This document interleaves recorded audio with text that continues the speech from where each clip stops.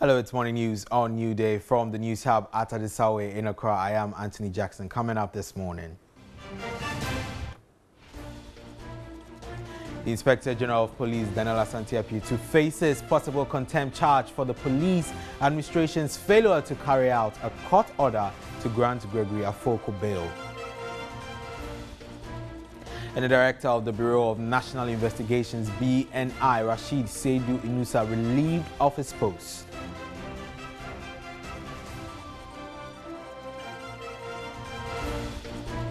Now pressure mounts for the prosecution of former Minister of State Rockson Bukari over bribery allegations.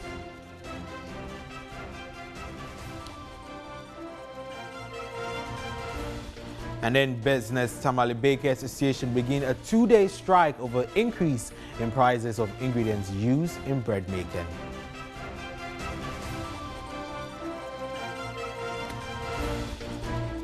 On the foreign front, Venezuelan opposition leader calls for a military uprising to oust President Nicolas Maduro as violence breaks out in capital.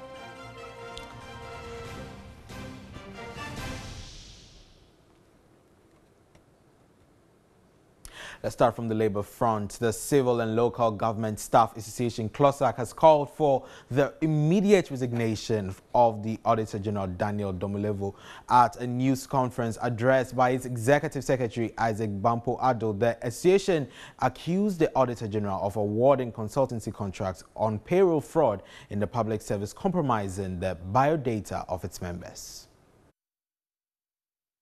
The association cited Article 187 of the Constitution, which mandates the Auditor General to conduct external auditing instead of internal auditing. The situation, according to CLOSAG, has affected the work of some of its members at the Audit Service. Executive Secretary of the Association, Isaac Bampoe Addo, called for the immediate resignation. If you've been given a role to perform and you, you will not perform that role, and you think somebody's role is better for you, then you, you, you don't warrant to be where you are. You must get out, resign honorably. And let somebody who can perform that role do it. Because it's for the good of all of us, it's for Ghanaians. It's not what you think, ah, this is what I want to do, so I'm going to do it. There are rules and regulations. He again expressed concern over the Auditor General supervising the award of contracts to deal with payroll fraud to consultants. Isaac Bampoe Addo argued that such a move has compromised the biodata of its members, creating job insecurity. These consultancies are still running, and these are vital public information that are out there. And what's the end result? Every morning, you they will wake you up with an SMS message, come and collect loan. Where did they get these personal details from? It's from these consultants. And it's against the Data Protection Act. He said the association would petition other key stakeholders, including the Civil Service Council and the Public Services Commission, to deal with the matter. Every unit has got a manager over there who is supposed to verify. So if these managers are not being held responsible, and then you now want to go and perform that fashion, who is going to hold you responsible? Another director of the Bureau of National Investigations, BNI, Rashid Seidu Inusa, has been relieved of his post. He has been at post for barely a year, having taken over from his predecessor, Akosua Appiah, barely a year ago. It is still unclear what necessitated his removal as there are conflicting reports what the reasons might be. Some have suggested he was asked to proceed on leave. However, reports picked up by TV3 indicate the director was sacked due to recent security lapses and lack of coordination. Already there are conflicting reports regarding his removal. His deputy has been asked to take over from him.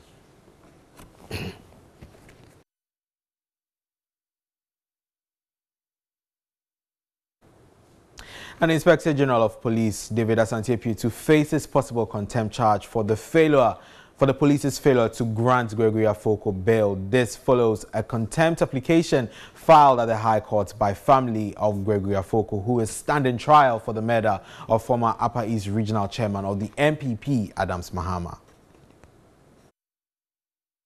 The Criminal Division of the Accra High Court on March 14 granted bail to Gregory Afoko, one of the accused persons in the murder of the Upper East Regional Chairman of the new Patriotic Party NPP, Adams Mahama, in 2015.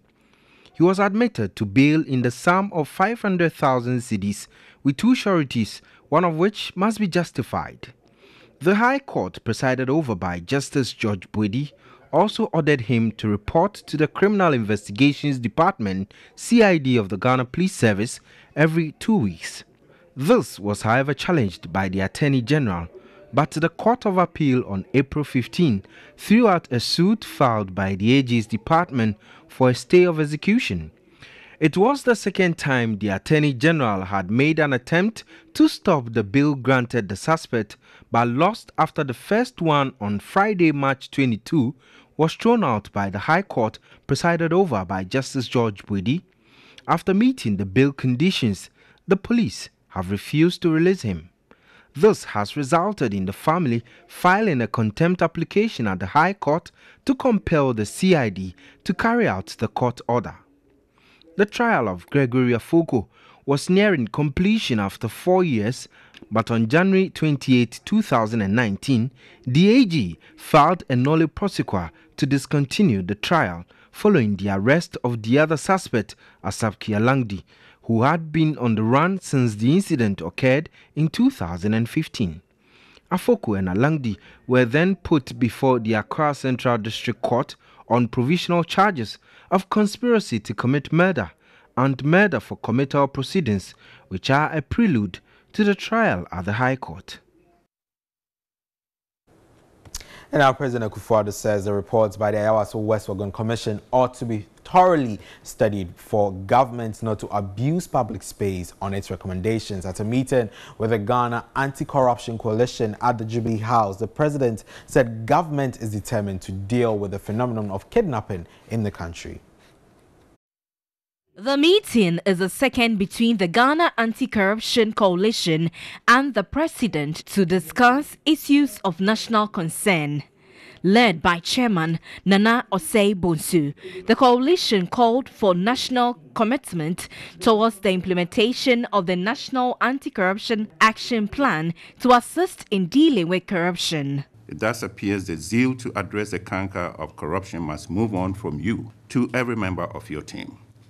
Recent comments by special prosecutor, by the special prosecutor on his frustration by some government appointees and the police CID does not speak well to the concerted efforts and collaboration needed among stakeholders in addressing corruption. The coalition suggested that the president institutes a sanction regime that will compel MMDAs and the MDAs to mainstream and integrate the anti corruption action plan in the activities, a recommendation the president agreed with. The group suggested all recommendations by the Commission of Inquiry be made public. Citizens should not be treated to snippets of leaked information whilst the report is kept by government. In fact, it is in the best interest of government to maintain the confidence of the people by opening up to them.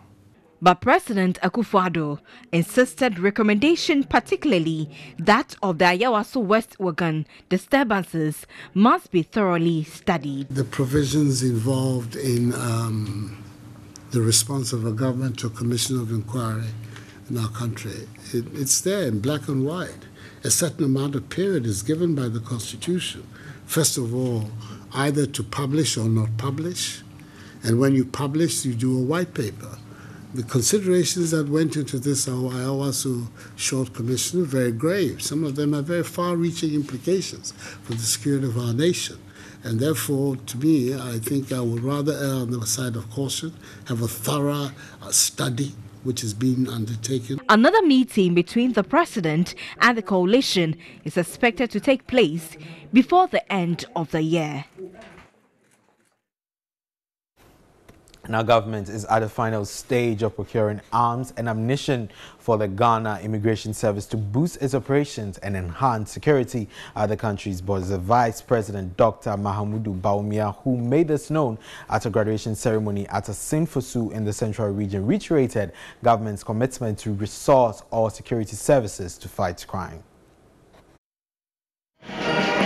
The Vice President, Dr. Mahamudu Bawumia, said government will not be complacent in the management of the country's security, thus working to ensure the safety of citizens. Government, he added, is ensuring the full implementation of the Immigration Services Act 2016 Act 908, which is aimed at injecting more efficiency and effectiveness into the service. Dr. Mahmoud Bawumia urged officers to eschew all forms of corrupt practices and exhibit high levels of integrity in the discharge of their duties.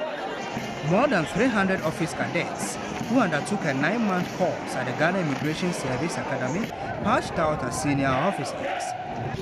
The Vice President also commissioned some projects including a 220 capacity hostel, a 300 capacity lecture hall and a modern drill square. Now, pressure is mounting on government and the police to prosecute former Minister of State Rockson Bukari for obstructing justice. The former Upper East Regional Minister resigned on Monday, April 29 after a tape implicating him in a move to prevent a journalist from publishing a story against the judge and a Chinese mining company in 2018 leaked. An embattled minister with his stewardship dented over a bribery allegation in a leaked tape. He, however, denied it, vowing to protect his image. Pressure was brought to bear on him, with many calling for his head in the wake of the Chinese being reported to be leading foreign invasion of lands for illegal mining. The minister finally resigned. His position on Monday night by the minority in parliament is not enthused. Look, I am reliable to find whether he was pushed or he jumped. At this point, it's immaterial for me. The most important thing is that is the resignation enough? Clearly, and I say no, it's a big no, it is not. Why? Why? If somebody has committed a crime, we just leave him of his public office and go home and ask him, pat his back and ask him to go and sin no more. So what should happen? There are acts that infringe the laws of this country. Bribery and corruption, are they not infringements of our criminal code? And so if anybody engages in those acts, we ask him to go home. What is the next step? People are languishing in jail for even smaller offences. Sagnarigu Member of Parliament, ABA Fuseini, warns government to pursue the case. All these appointees against whom serious allegations have been made and evidence presented he will sweep it under the carpet, and the president will be the same person to clear those people of corrupt acts. The NPP, member of parliament for Adenta and the communications director of the party, Yaw Buaben Asamoa, says his resignation from government is a good sign, but the state security apparatus must not let the matter die. Well, Parliament will not debate the vigilante bill brought under a certificate of urgency after the House was recalled from break. Now, Chairman of the Constitutional, Legal and Parliamentary Affairs Committee says the committee is meeting stakeholders, including the vigilante groups. A day before Parliament rose for recess, government under a certificate of urgency stormed the House with the vigilantism and related offences Bill 2019 for possible passage. A heated debate ensued between both sides of the House, with the committee agreeing the bill be sent for further consultation. Weeks after the committee started its work, much work still exists to be done. Ben Abdallah Banda says the committee is open to meeting every stakeholder. You cannot deal very decisively with vigilantism bill by I mean, sidestepping the political parties or sidestepping religious groups and sidestepping other interested opinion leaders. The names of some of the groups have been mentioned in the memoranda. Do you intend to give them audience as well? The Kandahar Boys, the Hawks, uh, the Delta Force. Do you intend to equally meet them and have deliberations? We will surely, we will surely do that because they are also part and parcel of the uh, of the of the of the stakeholder engagement. We will meet some of them. We may meet some of them, but not not all of them. President Akufo-Addo meeting the Anti-Corruption Coalition expressed concern on the slow pace of work on the bill. Ranking member Inusah Fuseini, however, disagreed. The president is out of touch. He doesn't know exactly what. Uh, that's what I've always been saying. In fact, we need to interrogate governors very well in this country. The president said that. He doesn't know that in parliament we are not considering the vigilantism bill. There's no slow pace. It's not even on the radar. There's no pace at all. The vigilantism bill has been postponed.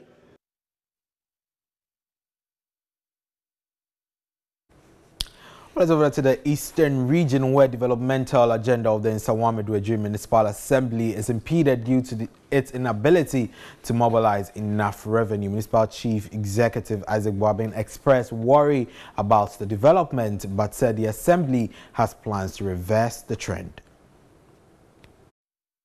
Adoagyiri municipality in the eastern region is one of the densely populated municipal assemblies. The assembly's effort to build a modern market center for the area was thwarted by the non-availability of land. Speaking at the ARC Development Foundation, a non-governmental organization town hall meeting to demand transparency and accountability, the MCE said the Assembly has put measures in place to ensure the development of the area. Yeah, my major challenge so far is in some market. During the market days, the kind of congestion we see or experience over here is, is too much. Our problem is getting a land. I traveled to South Africa to bring investors. The investors came in here, but they saw the land to be small. So now we are entreating all the chiefs and elders within our locality to help us get a new land so that we can put up a modern market for them. The town hall meeting is expected to equip civil society with skills to demand transparency and accountability. Our government is preaching about Ghana Beyond Aid, and all the donors there, they are supporting the government. They are all moving out because of the middle income status. So, as a citizen, we have to help the Asamo to generate a lot of revenue for developmental projects. Because the Asamo have a lot of potentials in the municipality here. But looking at the presentation, the target uh, the budget officer told that they can generate three times of that. But citizens they are not willing to pay. So we are taking it upon ourselves to sensitize the, uh, the citizen members to know their rights so that they can pay their tax towards the asamo. Executive Director of ARC Development Foundation, Emmanuel Minta, said it's imperative for citizens, traditional heads, and society groups to build consensus and form strategic alliances on local economic development. He stressed the assembly has been ripped of revenue through property rate collection due to misconception of the residents. Will stay in Sawama while longer as a heavy-duty vehicle assembly plant has been commissioned under the One District, One Factory policy program. The facility is a collaboration between government and the management of Zonda Technology Ghana Limited. Minister of State at the Office of the President, Bryan Acheampong, commended the company for contributing positively to the automobile industry. He said government had extensively collaborated and cooperated with management of Zonda Technology to partner the One District, One Factory to build a multi-million dollar assembly plant to create jobs. The One District, One Factory is aimed at establishing one factory or enterprise in each of our 216 districts, not by government, but encouraging private persons and giving, setting up the environment for them to be able to set up the industry, not government building factories in districts. Chief Executive Officer of Zonda Technology Ghana Limited, Yang Yang, said the objective is to ensure many young Ghanaians become gainfully employed.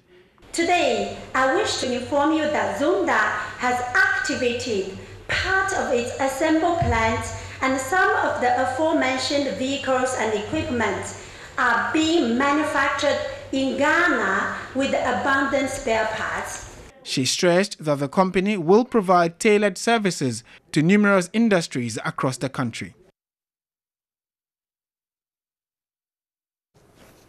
Now, bread consumers in the Tamale metropolis will from today, May 1, 2019, pay more for the bread they consume. This follows a two-day strike by the Bread Bakers Association in Tamale over increase in prices of ingredients used in bread making. Here's a report by Christopher Amwako. There was total shortage of bread in the Tamale metropolis Tuesday morning. Bakers and vendors had their shops locked with inscriptions of no bread, leaving consumers stranded. The strike, according to members of the association, is to prepare consumers for an upward adjustment in prices. They say the increase is as a result of hikes in the price of flour, sugar, butter, gas, and other commodities used in the business.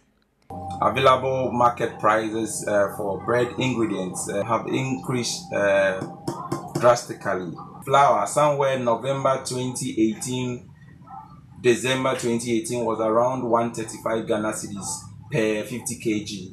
Um, currently, as we speak, um, the current price is around 165 Ghana cedis.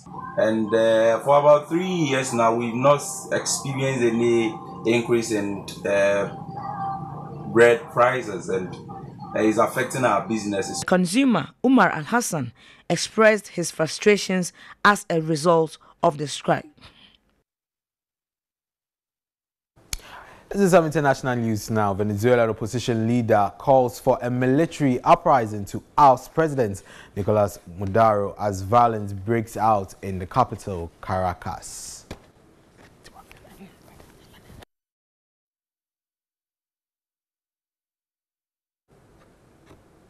Well, that's it for news for this morning. My name is Anthony Jackson. New Day returns shortly after this break.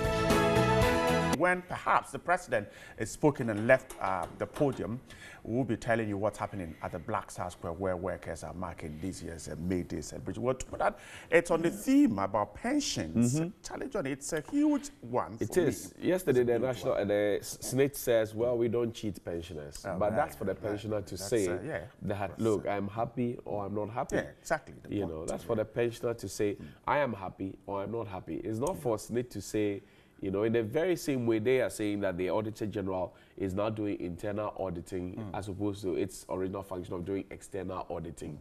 They are also, you know, trying to be the judge in their own court and say that they don't cheat pensioners and pensioners are getting what is due them. But the people are not happy. The point... So you, you should be worried. The point actually is that it, for me, the, the process is, is, is, what is worrying, okay? Mm. Even though they've tried as much as they can to make it as simple as possible. But right.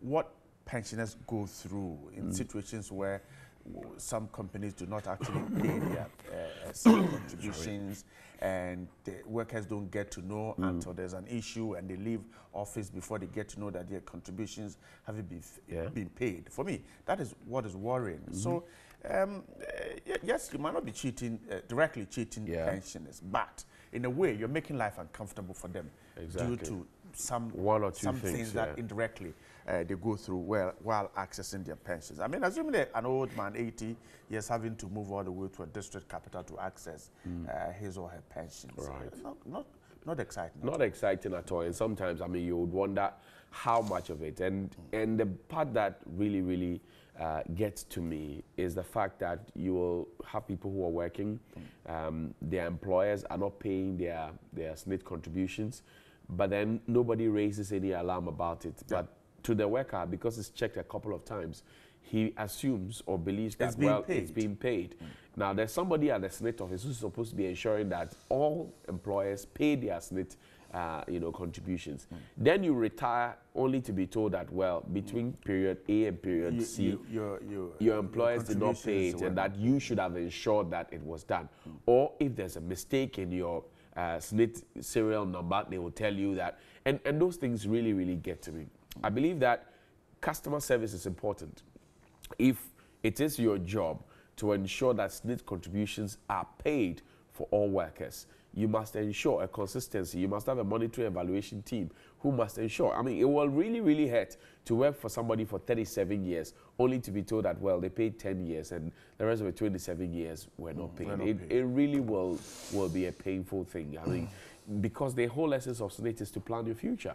So if I cannot get, you know, what it is, you know, that you are trying to do for me, then uh, really it, it, doesn't. Well, so well, we're just uh, hoping, uh, and of course, Johnny, on a, on a, on a broader uh, uh, uh, platform or stage, I, I am thinking that the whole pension will need to be overhauled. I mean, as of today, I cannot put a finger on anything and say that the second tier pension scheme is, is, right. is, properly being done because as I sit here, where's the money, I by the way? I'm unaware of exactly what is happening there. Mm.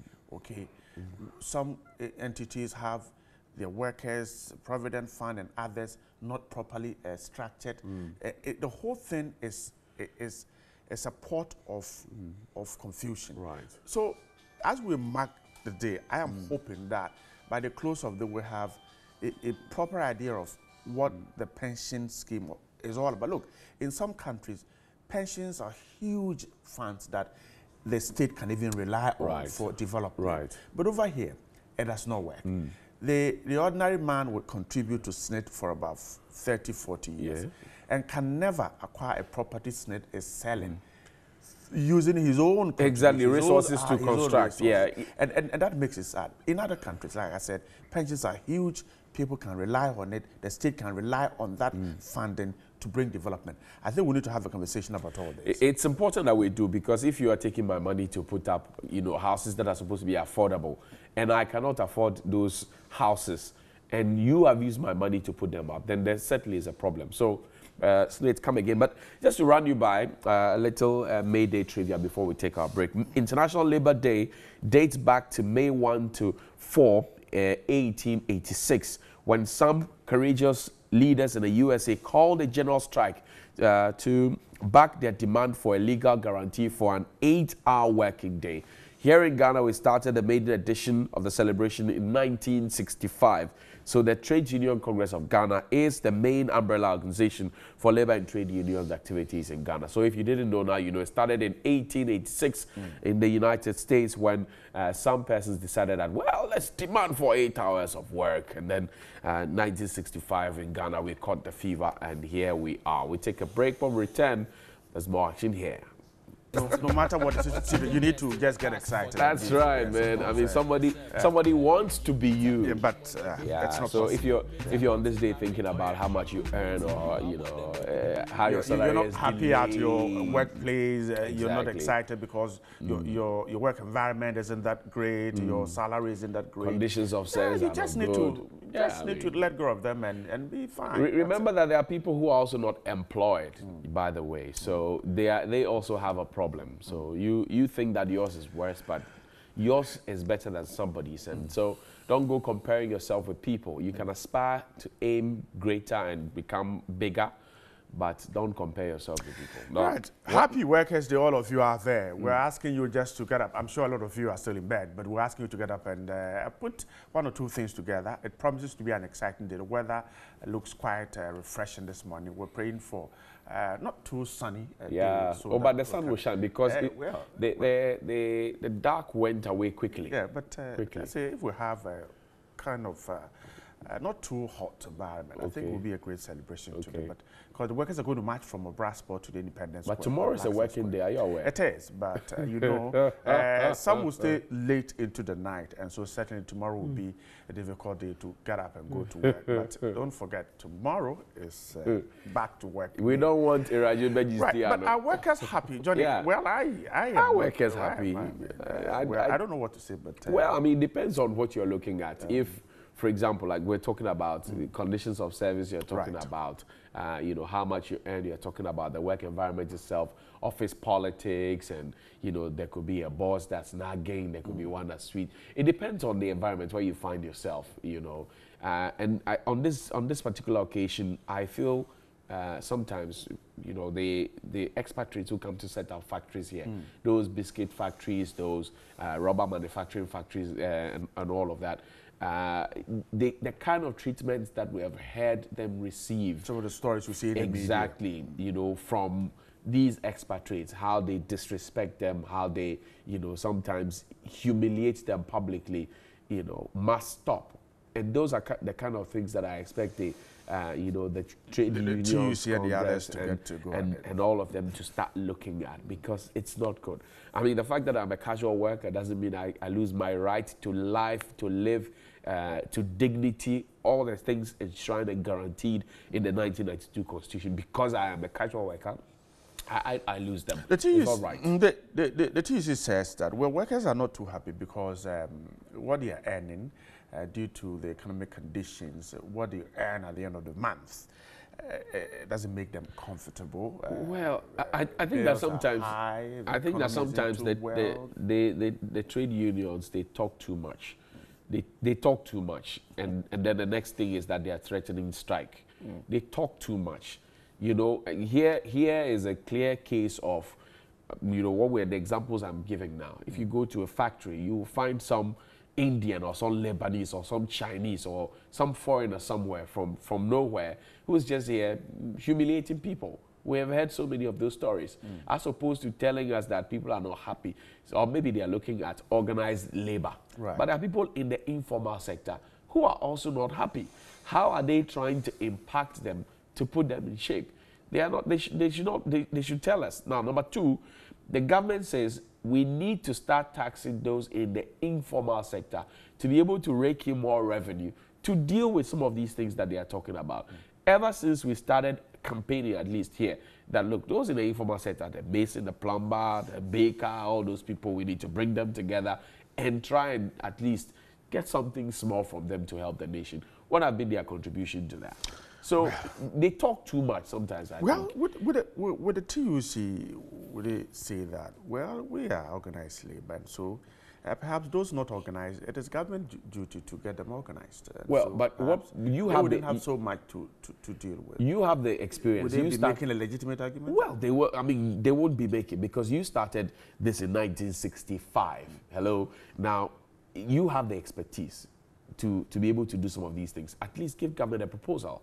Tell government that look, we believe that if you look here, you look here, you look there, you will be able to find the people you are looking for. Hmm. They ad, you advise GRA, and then you work together as a team, sit around the same table, and see how we can get it done, as opposed to making statements and going on strike. I, I, I don't buy that idea. Well, let's see if these workers are happy. Today is Workers' Day. Eric J is on the streets around some workers, and they've been talking about whether they're happy or not. Let's join them. Hello, good morning, and welcome to today's edition of the Daily Rant. My name is Eric Yoje. Today is May Day. Some would prefer to say it is Workers' Day or Labour's Day. It is a day set aside to recognize the contributions of our gallant workers across the country and also across the world. Now, Ghana celebrated its first May Day on 1960 and declared Dr. Kwame Nkrumah as the first best worker under then Secretary General of TUC, Mr. J.K. Tettegah.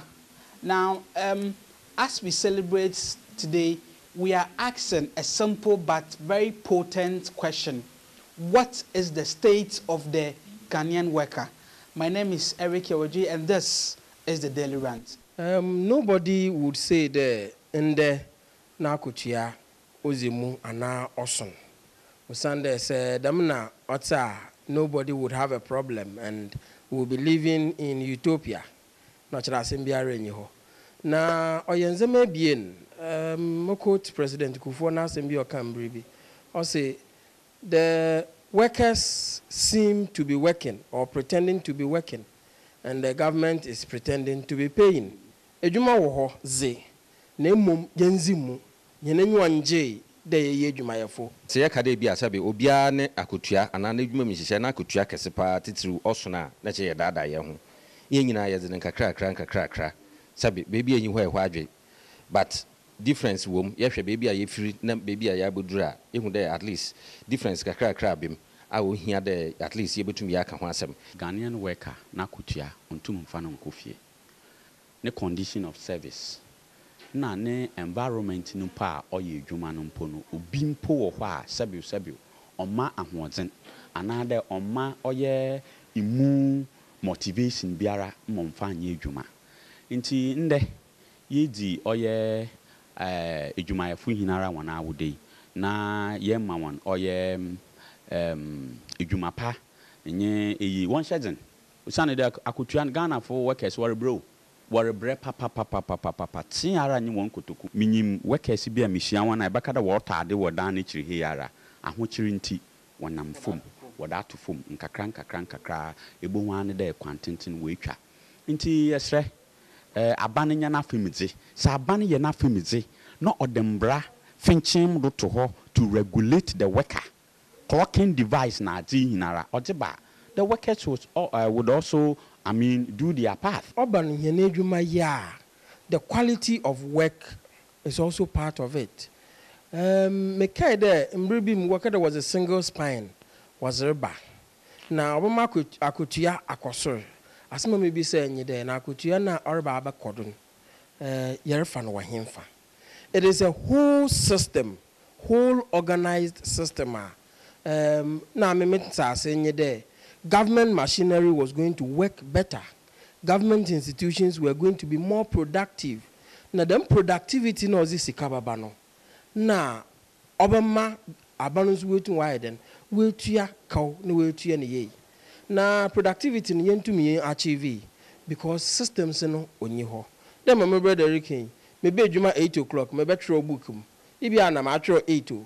Ma mmɔduru ha ten. sɛ adwumadze na ɛyɛ etu ho si hɔ na ɛyɛ adwumadze edi wo time do. Adwuma no so ekɔ adwuma mɛmfɛ ndze agor ɛyɛ ma ɔsɛ dɛ fata bi ɛyɛ a sɛbi odu beebi a mpanyinfo kan waketua no so ɔhyɛ wo kotokum no ɔso wo ehu mɛdze yɛ titiriw paa. Na mmom abanda bi a dem like a desical attitude to work poor work attitude nkɔ adwuma ntɛm ɛkɔ the mobile phone ɛte ho anyi browser anyi na ma ɔka ho da.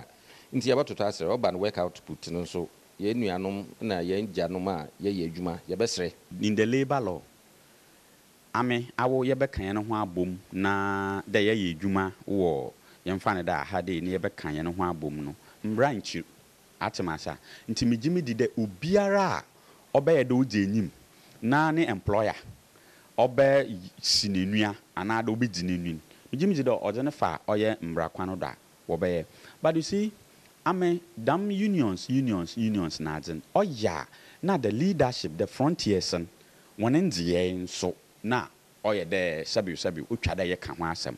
Because yɛbɔ bom yɛayɛ biribiara yɛafa adwene yɛakɔ ha wonyaa wɔkɔ the round table ne pɛ wɔtɛe wɔtɛe meka dɛ wɔtɛe a mekyerɛ dɛ wɔgyiti wɔtɛe wie a wɔpush ɔyɛ brown no wɔpush brown no pɛ. Ɛbɛhu dɛ nsusui na adze a wɔde kɔ table hɔ no from the general workers union na wɔadan. Wɔba na wɔreka biribi foforɔ adze kor anaa ebie no a ɔyɛ ɔhaw ɔnye dɛ te dɛ ma me nua yi dzi ka no bɔdo yi oh union union. Yɛbɛma mpanyimfo akɔ ɔbɛba no. Na members no ankasa no wɔn angye decisions no union union no dɛ ma nnuanom wɔn nyinaa wɔaka no. Ɛɛ ɔyɛ ɔyɛ adze papa. Kyerɛ dɛ employers nankasa wɔgyina wɔn nan do. Ama wɔyɛ biribi a wɔyɛ very careful. Na ɔyɛ akakra a mehu so ni dɛ workers nankasa a wɔwɔ local go wɔnya ma wɔyɛ nhyiamu no wɔnya ato ma mpanyinfo no wie pɛ ma wɔgyina wɔn ano pɛ na wɔato wɔn adwene mu wɔfrɛ meeting a wɔnkɔ. Nti ɛbɛhu dɛ decisions a anaa biribi a ɔha wɔn no mmom a ɔda nkyɛn underground no wɔbɛkɔ no wɔde bɛkɔ no wɔde akɔ to gua na ade na travel akɔ soro no na wɔatum wɔatum ano wɔnyɛ. The difficulty in forming unions ɛhwɛ most often no ɔwɔ private sector. Ɛhwɛ especially with these foreign companies i can name a lot of them. A wa abɛde nti na dɛm ɛwɔ no de no ntom nkɔ hɔ. Ɛɛ sentire a mɛka dɛ aban ne nkɔ hɔ pii nankasa yɛ sɛbiw sɛbiw aban nhyehyɛeɛ a ɔnye private sectors no wɔhyehyɛ. Ma ɔyɛ a yɛtaa ho paa dɛ aborɔfo adwuma.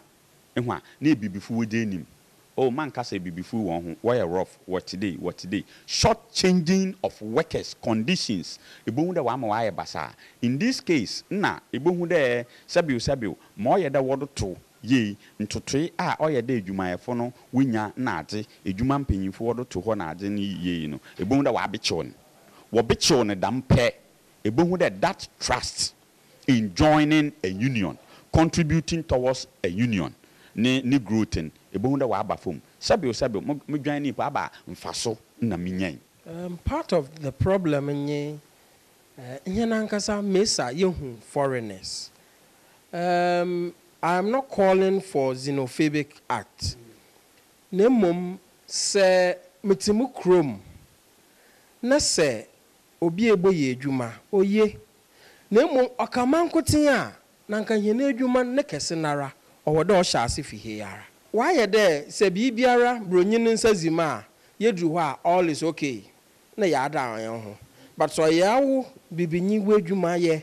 Na nkanka ara sɛ wo kala yɛ red na aba na ɔwɔ hɔ ne kala yɛ green na dɛm abiri ɔnye wo nka a ɔde wɔhwehwɛ wo nkrataa maa zikesi na mmom buronyi ne zeze daabi.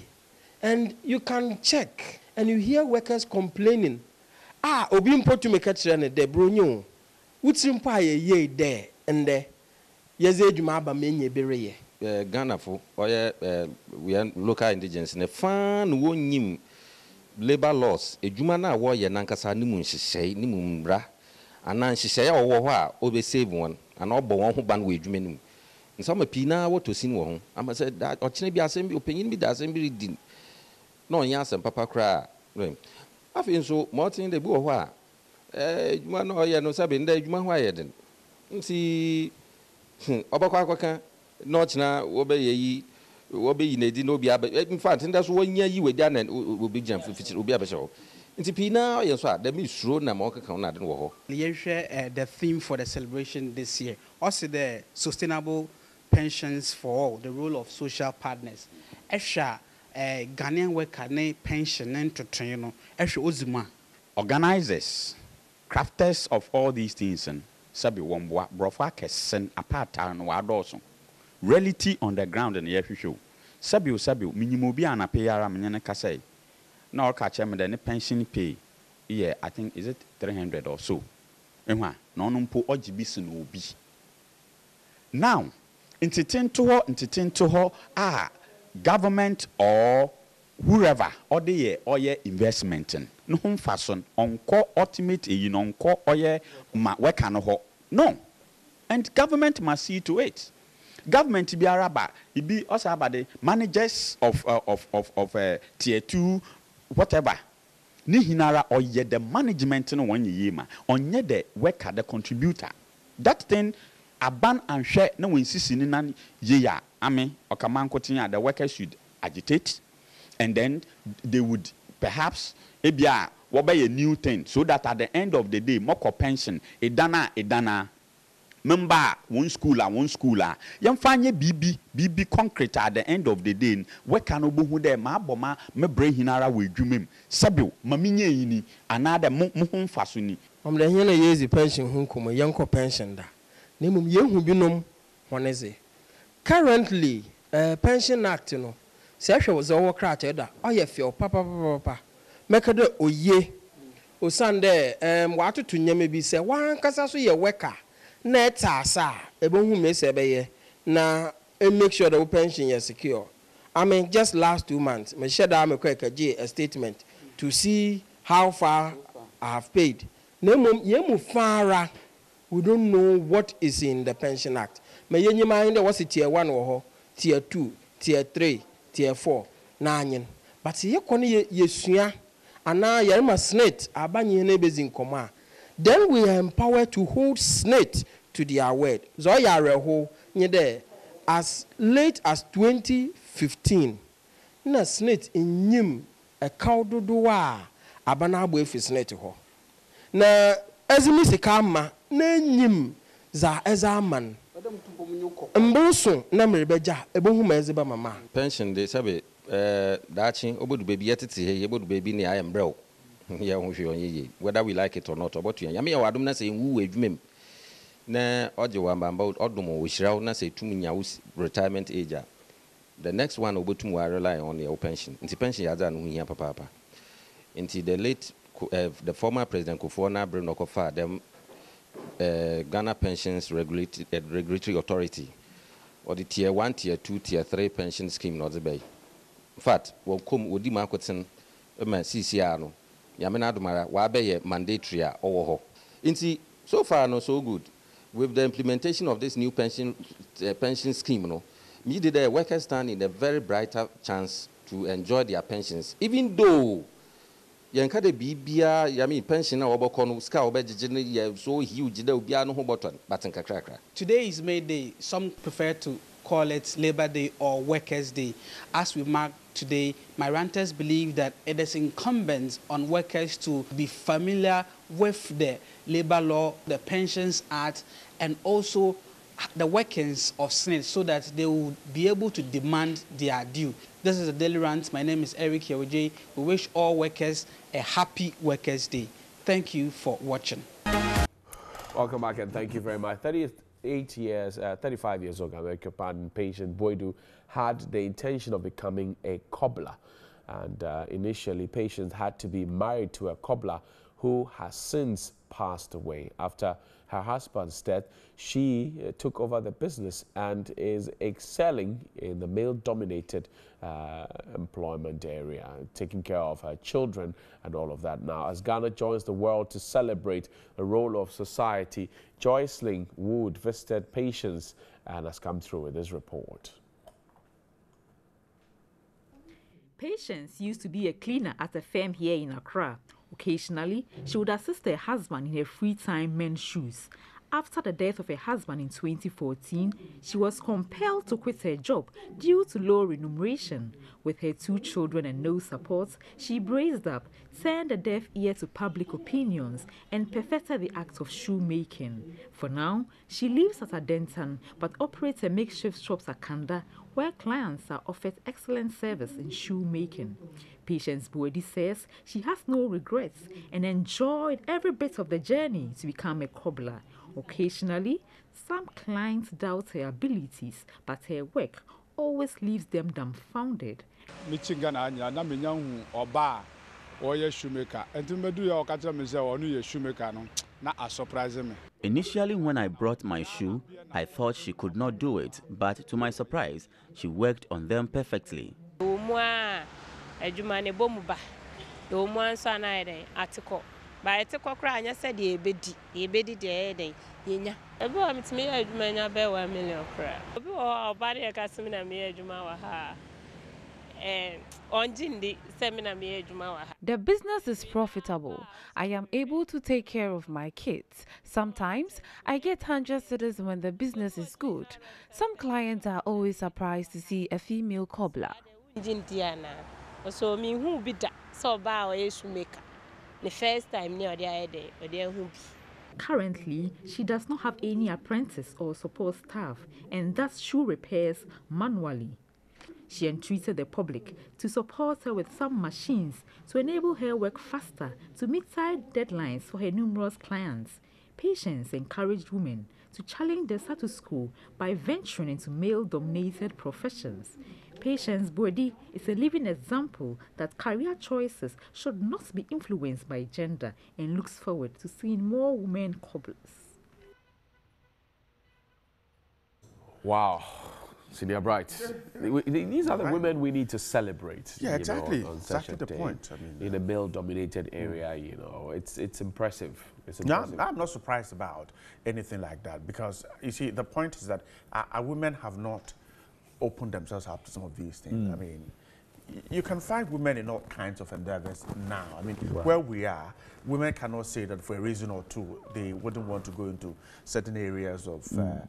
uh, uh, employment. employment. So, for me, a woman uh, being a cobbler isn't anything uh, strange, mm. except that our women have uh, refused to do it. I, mm. I do not know how to reconcile the fact that they, they keep suggesting that mm. what a man can do, they can do better, and yeah. yet we don't see them in some areas that are presumed to be. I, I, I think it's society's own, mm. uh, you know, uh, straight jacketing of things, you know, where the society boxes you into, oh, this is a male-dominated area, it's for, it's for or this is a male, uh, a male-like phone, or this is a masculine phone, mm. this is a feminine car you know, society itself puts people in that block. Mm. So you remember when women started wearing trousers, people frowned upon it. And they say, well, it's, it's for men. It's not for it's not for all of us. I mean, you find a woman wearing a suit, mm. not a skirt suit, but a suit with a trouser, and people think, hey, she's looking it's, too it's masculine, or she's wearing a, a tie, a flying tie. People think, hey, you know. So we should stop boxing our women and allow them to yeah, I think they can explore. I mean, they can do. They can go into masonry, carpentry. I mean, some of them uh, can go into driving and all kinds of work. So I, I guess it's just a matter of them deciding what to do. So yeah. it doesn't have to be the fact that you're a woman and so you can uh, be a cobbler. You can certainly do. But we're staying on Workers' Day, mm. and very soon, sure, we'll be getting what's happening uh, with the workers as they begin their march from the Spot to the Black Star Square. But over here in our studios, their childhood dream was to work in the tourism sector as travel guides or passenger handlers. But the inability to secure a, a white-collar job after graduating led them into an almost related venture. We bring you the inspiring story of two cousins with diplomas who sell rice and beans. We know as uh, Waakye for a living. Watch this. Data from the Institute of Statistical, Social and Economic Research ISSER indicates it may take up to 10 years for a large number of graduates to secure employment. 25-year-old Jennifer and 26-year-old Barbara are not new to the challenges. The two, who have been struggling to get a white-collar job upon completion of their diploma in travel and tourism, have now created an income source for themselves. They are into the selling and delivery of jollof rice and waakye, a dish of cooked rice and beans. Growing up, I always wanted to be um, a passenger handler. I had this passion for seeing planes and seeing the air hostesses and all that. But um, I realized you didn't get it how you always wanted to be. Um, so sometimes you'd have to cope with the government and fit in where necessary. So I just decided to grab this opportunity. Barbara Kisiwa holds a diploma in travel and tourism and has been running the business for close to a year at Kwabenya in Accra. To further increase her chances of securing a job, Jennifer pursued a higher national diploma at the Accra Polytechnic, and for her, business has been quite good so far. Everybody just likes what he or she does. So I'm just happy with what I do. By 7, we bring everything down. So latest by 7.38, we start selling. And it depends on the market. When the market is good, by 10, 9.30, everything gets finished. So we have to pack and go up. Barbara tells me there has not been any regrets of serving their numerous customers each day. We are able to deliver, let's say, 30 to 50 packs a day, averagely. Um, selling, let's say, we are able to sell 500, 600 cedis a day. Currently, their friend, who is also an unemployed nurse, and their auntie have been assisting them to run the Waakye business. Their auntie encouraged parents and guardians of unemployed graduates to support their entrepreneurial drive. Uh, so I'm support them. Now I'm also supporting now. Yeah, Unemployed graduates should be encouraged to start a business. Their income could even be more than those engaged in white-collar jobs. It is clear while government is seeking solutions to reduce graduate unemployment, it appears more graduates are now setting up their own businesses after leaving school. Chiwachi waakye. That's, a, that's, that's a good that's, that's, a, that's a business. good business. I don't think business. why we. I, I don't know why most people think that. Well, mm. if you don't work in an air-conditioned space, you're not waking up at you know seven to get to work at eight. Yeah close at five, get home at, at nine or seven, uh, then you are not working, really. I mean, I think that that concept, that mindset, must you know, change. must change. Must change. The, I mean, entrepreneurship and private business mm. Is the way to go. I mean, the government has consistently said that the private sector is the engine of growth. Mm. And it meant that not just for white collar jobs, it meant that also for people who can fend for them. I mean, people wear suit and tie, they go and come and they earn 40 cedis a day. Right. These guys you just saw who are selling their waakye, in spite of what the academic credentials are, they could make more than 200 cedis a, A day. day, and that's a lot of money. So You and I don't make that much when we sit here the whole day exactly, talking, yes. Comparatively, they are better off than you. Yeah. I mean, and so it's about time we start reorienting our minds, start changing our minds about certain things. I mean, in farming, you know, animal husbandry, all those things. We need to start changing our minds about them. The, really. the, the, the problem we have sometimes, I mean, those who are experts will, will want to put it in, in a better way, that there are people who are employed and yet they claim that they are unemployed. Right. So a lot of the guys on the streets of Accra selling Mm. uh, believe that they are not employed. But Johnny, you know, you are, you are. Eblobi, so you Right. know that lady who sells uh, Segobe. uh, yes, your Kagari and, and, Yes. and, Yes, yeah, and, there's your and that's what well. she's done all this while. Yeah. Okay, and I know of a woman in Accra somewhere, man, who sold gari and beans. Okay. And all her kids went to school with that. Mm. So it, it, it is a business. It is how we run it. Okay, it is our commitment to Exactly. it. I have seen people who sell uh, roasted plantain, Mm. and that's their business. And so you go to such a person and says, Charlie, I'm not employed. And here the person is selling gari and Yeah, and- and- they, and- they- they don't see it as work. There's this, there's this lady, when we, I think when we did the Ghana month here in 2017 or so, uh, she, she came around, no, 2018, I should say. She came around, she sold kenkey. And, um, you know, I, I got closer to her, I asked her, she said, well, I have a degree, uh, but I couldn't find a job out there. I've sent my CV so many times, I couldn't find it. So, so she's looking for white collar. so my mom does the KK business. She's getting old. I took over, and now I'm happy. I Yeah, make money. I mean, by by 5:30 a.m. the KK is ready. I take them to Vantage Points, uh, put it there, have people sell for me, and then I go and collect my money afterwards. Go to the market, and even though it's a tedious cycle, it was. I mean, at the beginning. At this point, she's happy Mm. because she makes more than 400 cedis a day.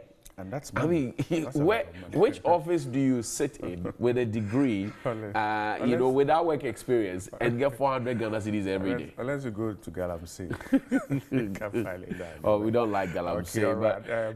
Um, well, so waiting workers are happy, happy, happy workers day. I know most of you are resting in your homes and enjoying uh, perhaps some food, some drink, but Mm.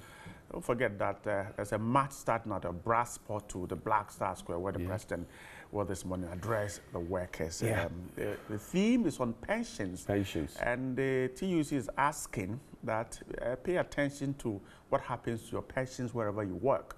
Uh, make sure the calculations are well done. Uh, get your employer to make sure he or she is doing the right thing. If you think your pensions are going Mm. wrong, ask questions. Ask questions, and that's why right to ask yesterday some some uh, students brought some report to me. They were talking about the Students Loan Trust Fund, Mm. and they say, look, for for over for a long time, they have not received the monies They're that you know they are supposed to get. But these monies are supposed to be used to uh, buy books and pay their fees and accommodation and other things. Mm. So they don't get the money when they need them. They get the money when you know they don't need the money, and then so they are forced to use the money for for other, activities. At this point, exams are about to begin. Mm. If you haven't paid your fees, like we know in the universities, you won't be allowed to sit for the exam. There are people at the student lo- loan uh, office who are supposed to be ensuring that these students get their monies ahead of time. They are not doing that. But guess what? They've been paid. And somebody is wishing them a happy workers' day. uh, sad. And also, the operator of the toll booth number six on the Accra Tema motorway, your your machine you say is faulty. So when people Has pay you money, fixed by now? uh, well, it, it's not been fixed. When people Oh. pay you money, you say that your machine is faulty. Where does the money go?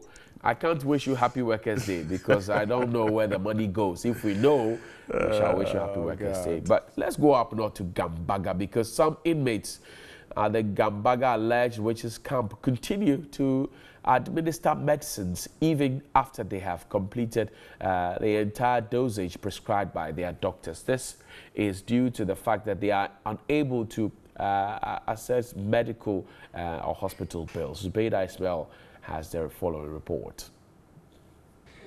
Basic healthcare is the right of every Ghanaian citizen. This human right is duly enshrined in the 1992 Constitution. It means, irrespective of gender, physical stature, mental stability, and age, quality health care must be provided you when the need arises. However, inmates at the Gambaga alleged witches camp, mostly the aged, have a difficulty accessing health care. Inmates at the camp who have been alleged to be witches, with many banished from their communities, feel safe here. Daily basis, we go to the hospital. Sometimes I can go six, five times. Oh. Yeah. Anybody who is sick here is spread fast because of their numbers. Mm-hmm. Something like cholera, Mhm. uh-huh, it is something that can easily spread. Ghana in 2003, through an act of parliament, introduced the National Health Insurance Scheme. The amended Act 852 was subsequently implemented in 2004 to provide financial access to quality health care. We have registered them with the NHIS. They are all card bearers. Anybody who is here is a card bearer. We don't joke about it. But the fact is even that sometimes the send it carrying the NHIS and the only thing they will do is to write, go and buy drugs. And where they, the money? They come back here. Ideally, inmates should not have difficulty accessing healthcare services. But that is not the case. The situation gets tougher when their cards expire. Our difficulty now is even not sending them there. The difficulty is they will write a note, go and buy drugs. Where is the money? That is what is killing us now.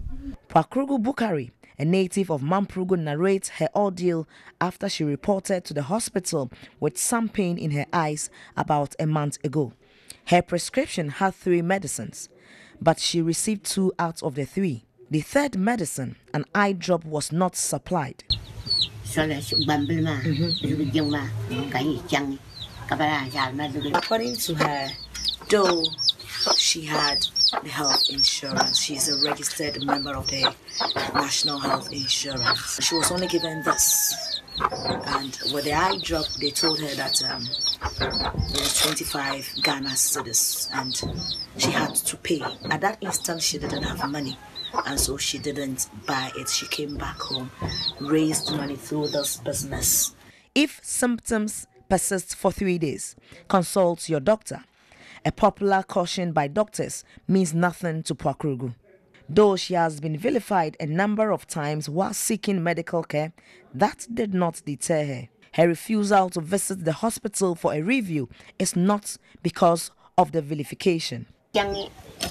bayaleni ide ibo lagana ama banti da mun kuzwa bakoti da anguma dan nan do hra da kani bakoti She intimates she is unable to go for review before she goes to see the doctor at the consulting room. She's also demanded to pay 25 cedis, where she does not have that money. And that is the reason why she's not been able to go back and she's opted to keep taking these two medicines and keep putting this into the eye, though she doesn't seem to see any improvement.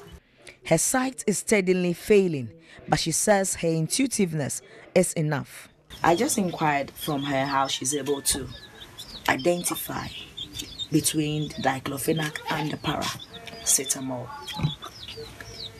It's interesting she's still able to do that just by feeling them. So the sizes are what she's she uses to identify these medicines. Once she fills this and she sees that they are the smaller ones, she knows these this is uh, diclofenac and then she knows this is paracetamol.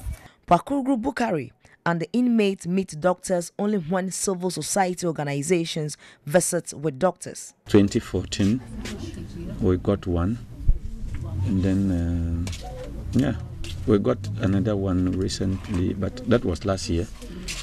It's not often and often. Apart from these two, I can remember. We don't. But normally, it will come when someone wants to support us to do. Mhm. Yeah. The caretaker, Samson Lar, recounts some moments between inmates and health workers during hospital visits. We send them to the hospital, and sometimes they just look at them and they think like immediately they get to know that she's a witch. I can remember one of them. I had to speak to the doctor because what came out of his mouth, I was very disappointed. What came out of the doctor's? He was treating her, and I don't know whether someone prompted the person that that was the women I was taking care of, and he said, "Oh, they kill people and they also fear death." And he said it in the language that the woman could even understand. So I was like, what is going on? Someone is sick. They have just accused the person. The person is not well. How do you say this? That's Uh-huh. from a doctor, a learned yes. person. Yes, a learned- Oh, I can tell you that those who call themselves learned persons are even those who fear them more. Inmates are not vilified only when they visit the hospital by themselves, as residents are unable to identify them. But their ages do not allow them to walk from the camp to the hospital. I think the youngest person here is around 60 years. The youngest? The youngest. If not 60, 55, yeah, mm. something like that. Many of them are old. Many, many of them are old. About, I tell you, 90%. Most inmates have health conditions, including mental disorders.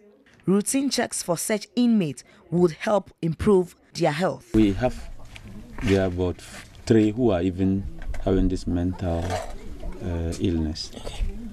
Uh, I know many of them are also this blood pressure and hypertension sicknesses. What we do is that, that's why I was referring to monthly hospital we attend. We have identified all of them and put them into groups. Those with high blood pressure, we kept them into. So we send them monthly to pick their drugs. We leave the drugs with them. For instance, the mental uh, people, we have given the drugs to Mangazia. Okay. Every morning, whether you like it or not, you must go and greet the Mangazia. That is our tradition here, as soon as you are here. So what we do is that every morning when they go there to greet her, she'll give it to them. Samson says the situation would have been less challenging if inmates were beneficiaries of the Livelihood Empowerment Against Poverty program, which would have absorbed the renewal fees. Another good thing we were thinking was the proper policies like the LEAP program. Mhm. We were thinking that all of them should have been registered. How many of them are registered? Oh, there the are list? just only about 29 or 30 people who are registered. Out and of the- out of the 78. The East Mamprusi Municipal Chief Executive Abdul Nasser Danladi has meanwhile assured registration process of inmates will commence soon. I was thinking that the first quarter they will allow us to continue, but I don't know exactly the problem. So now that you you inform me, I will let the social welfare officer take care of that. Until then, caretakers have to use their meager salary to pay hospital bills of inmates. Zubaida Ismail, TV3 News, Gambaga. A very sad development. then. Yesterday, Dr. Wejo Asewa was asking on social media whether or not we've had uh, these NGOs and religious organizations who are flaunting their cash out there uh, turn their attention to them before. Well, the answer is no. Nobody cares about them really. But happy birthday to you, Melchizedek Fleshup and uh, CEO of Dadabee's Empire and Yebewunti and the hitmaker Dada Hafko. We'll take a break. When we return, there's more action. We'll read your messages to the workers across the country as we get ready to hear what the president has to say on Workers' Day. Is for free, but let's turn our attention now. We'll start off with Tilapia. Tilapia has a cartoon for May Day. It says, Happy Workers' Day! Exclamation mark. But the laborer deserves his wages. He's screaming, Happy Workers' Day, but the laborer deserves his wages. And guess what? We have the National Builders Corps, uh, NABCO, which was introduced. We're told that 100,000 young people will be employed. Yes, indeed, we have seen quite a number of that. But the point is, are they getting their salaries? They've been crying. And uh, somebody's building, he looks lanky, slim, uh, elevated, poor, and dehydrated. He's sweaty with the shovel and his topless says, hmm, Labor Day without pay. And there's a foreman of works watching on while this other man with a headpan uh, atop his head is trying to climb. He's also skinny, lanky. And look at the one up there. Uh, if the wind blows, he may fall with his trowel together. NABCO without pay. Interesting. And as we celebrate May Day, and you may be happy, uh, it's getting to day 30 since the kidnapped girls, police Pilulo search for the girls. We were told that we know where the girls are. That was the key word. And the Daily Guide reported that, well, they are, they are seeking medical attention. They are in the custody of BNI. Subsequently, police came out to say, we haven't found the girls. We don't know where they are. And I'm sure you know that as of yesterday, the BNI boss is being kicked out. His deputy has been asked to replace him. You want to connect the dots? That's your own cup of tea this morning. But let's turn our attention to WhatsApp. WhatsApp starts and says, Good morning to Johnny and Brighton, to all workers within and beyond. It has gotten to a time that government has to take a comprehensive look at public services like parks and gardens, uh, Department of Community Development, NCC, PWD. Resources are not given to these organizations, so the workers are not able to deliver their core mandate while drawing their salaries from government. Let's resource them for effective work. Also, TV3 should create a unique way of improving the New Day program by moving one region to the other that will promote local content and opportunities to others, but not only in Accra. I agree with you. We're looking for sponsorship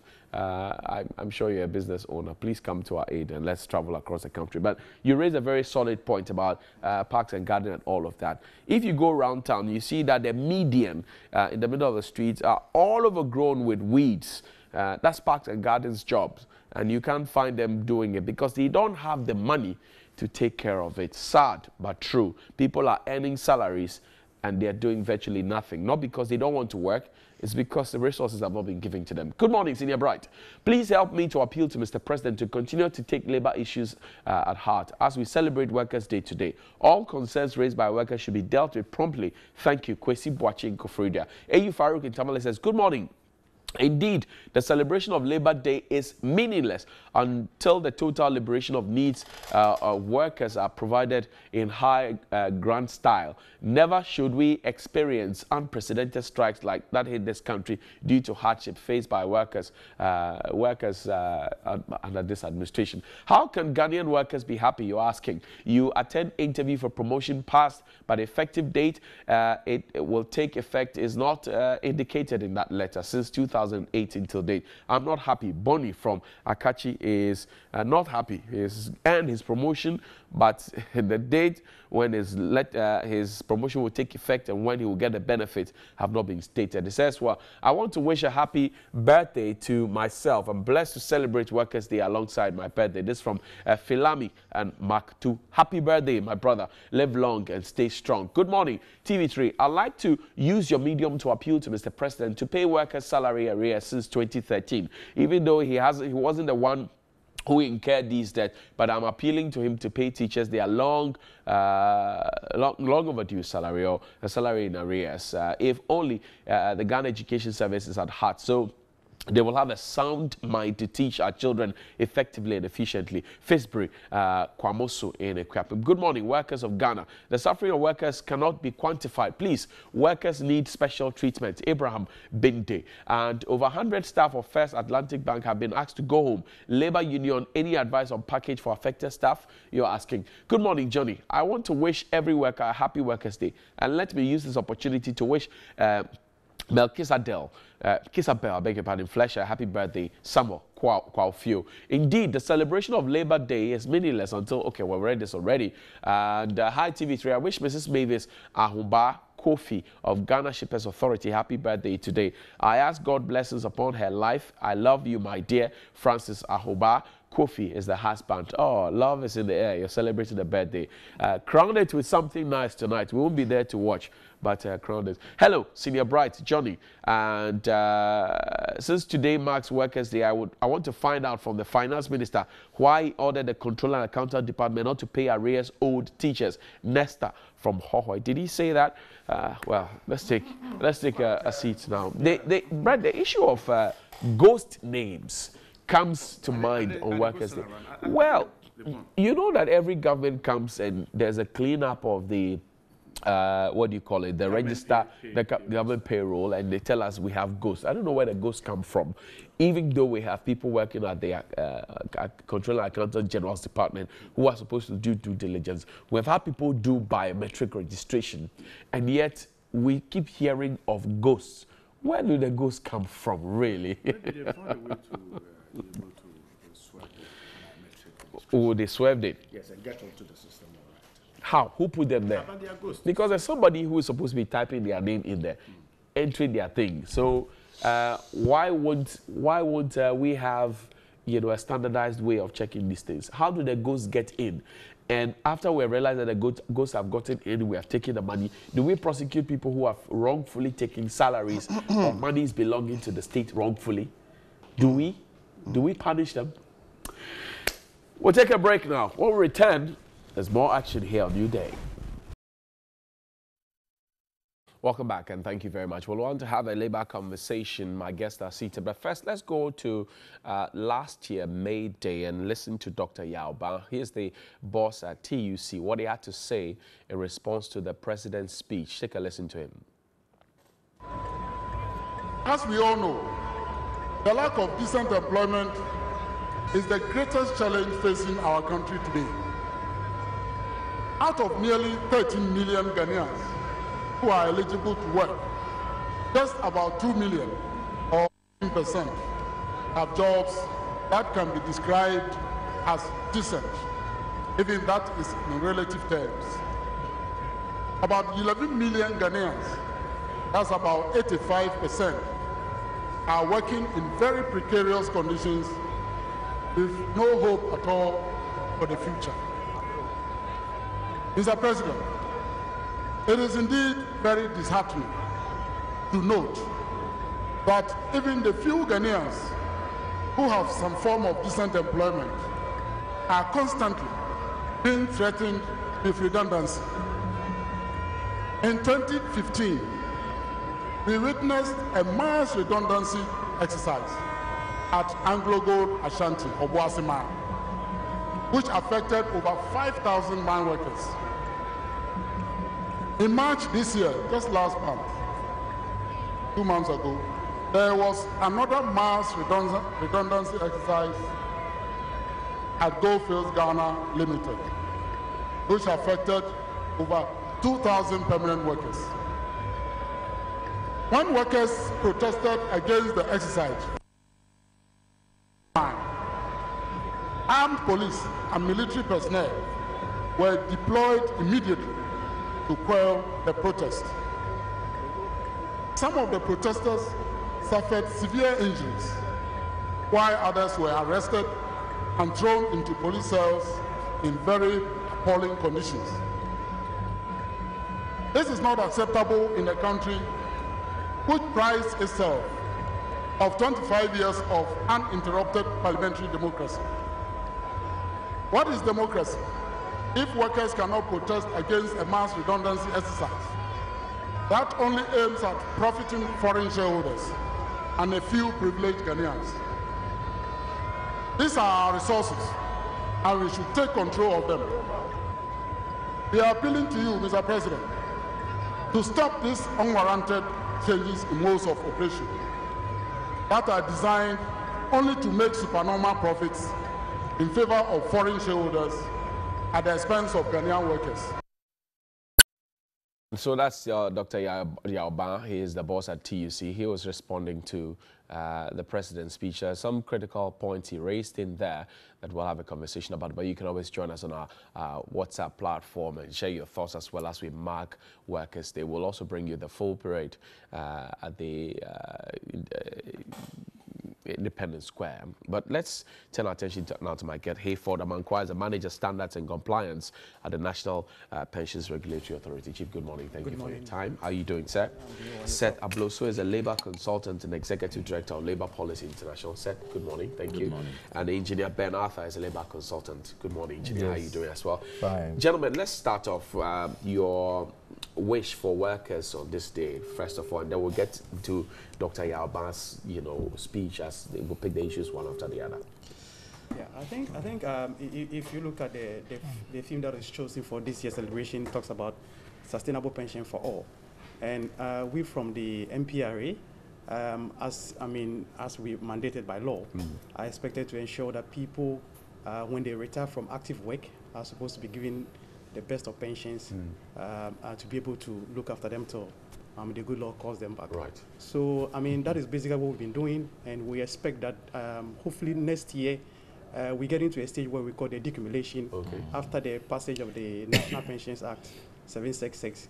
The first batch of um, uh, pensioners will be retiring, and we're hoping that um, they're going to get the best out of this particular uh, scheme uh, come next year. Mr. Abloso.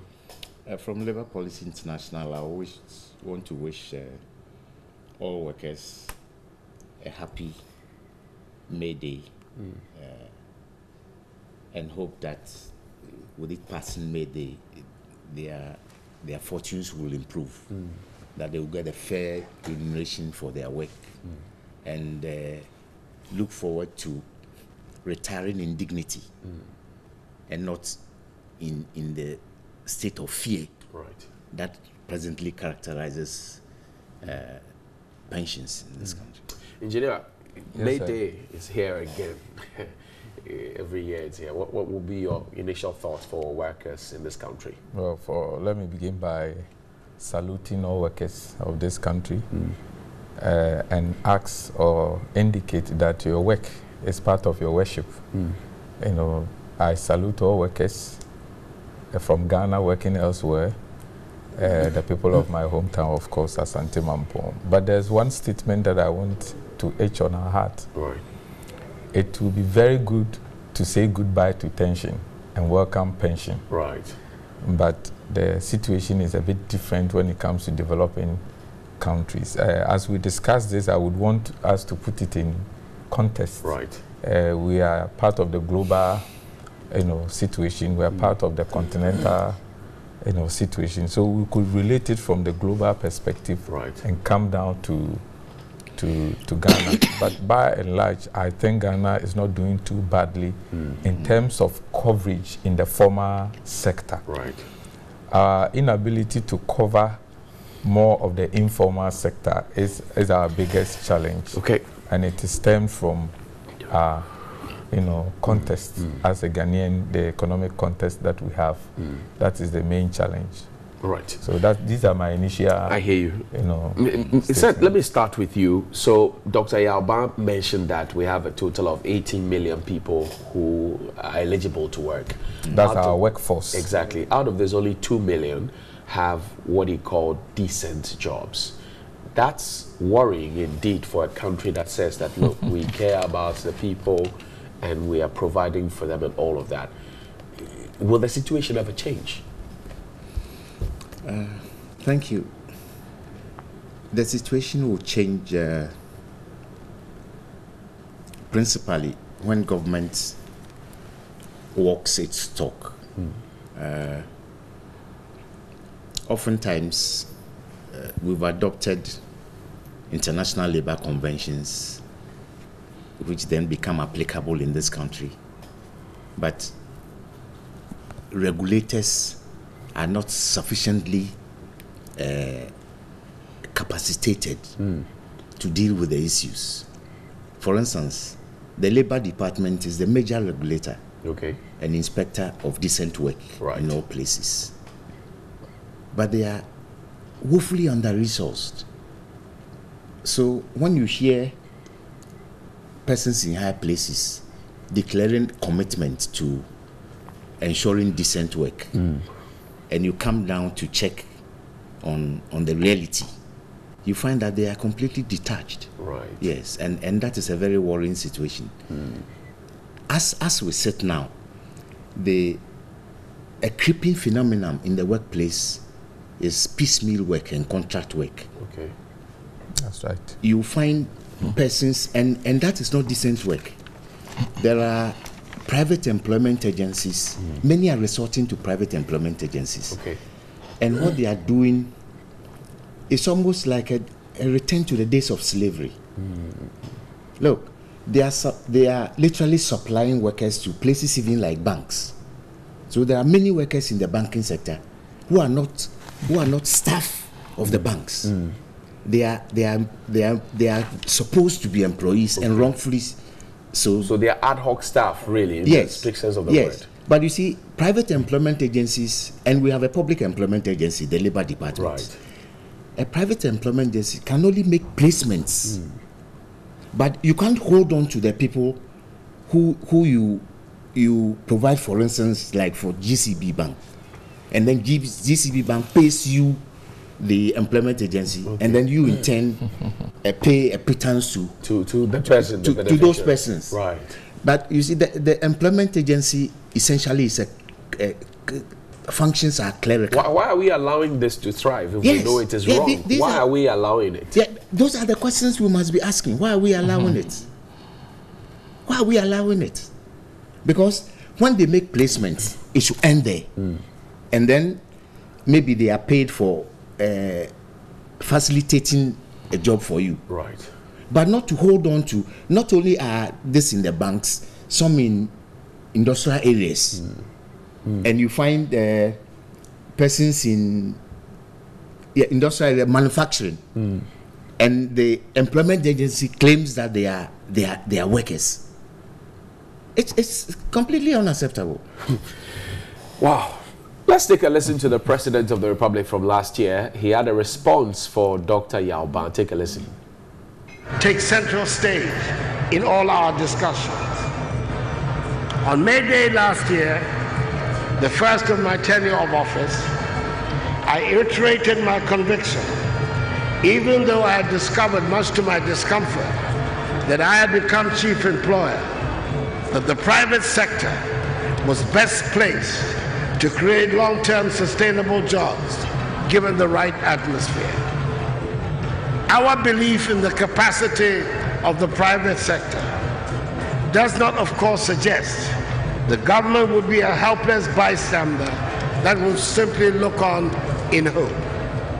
Government, therefore, set about the task of putting in place the fundamentals that promote the enabling atmosphere for our entrepreneurs to thrive and create jobs.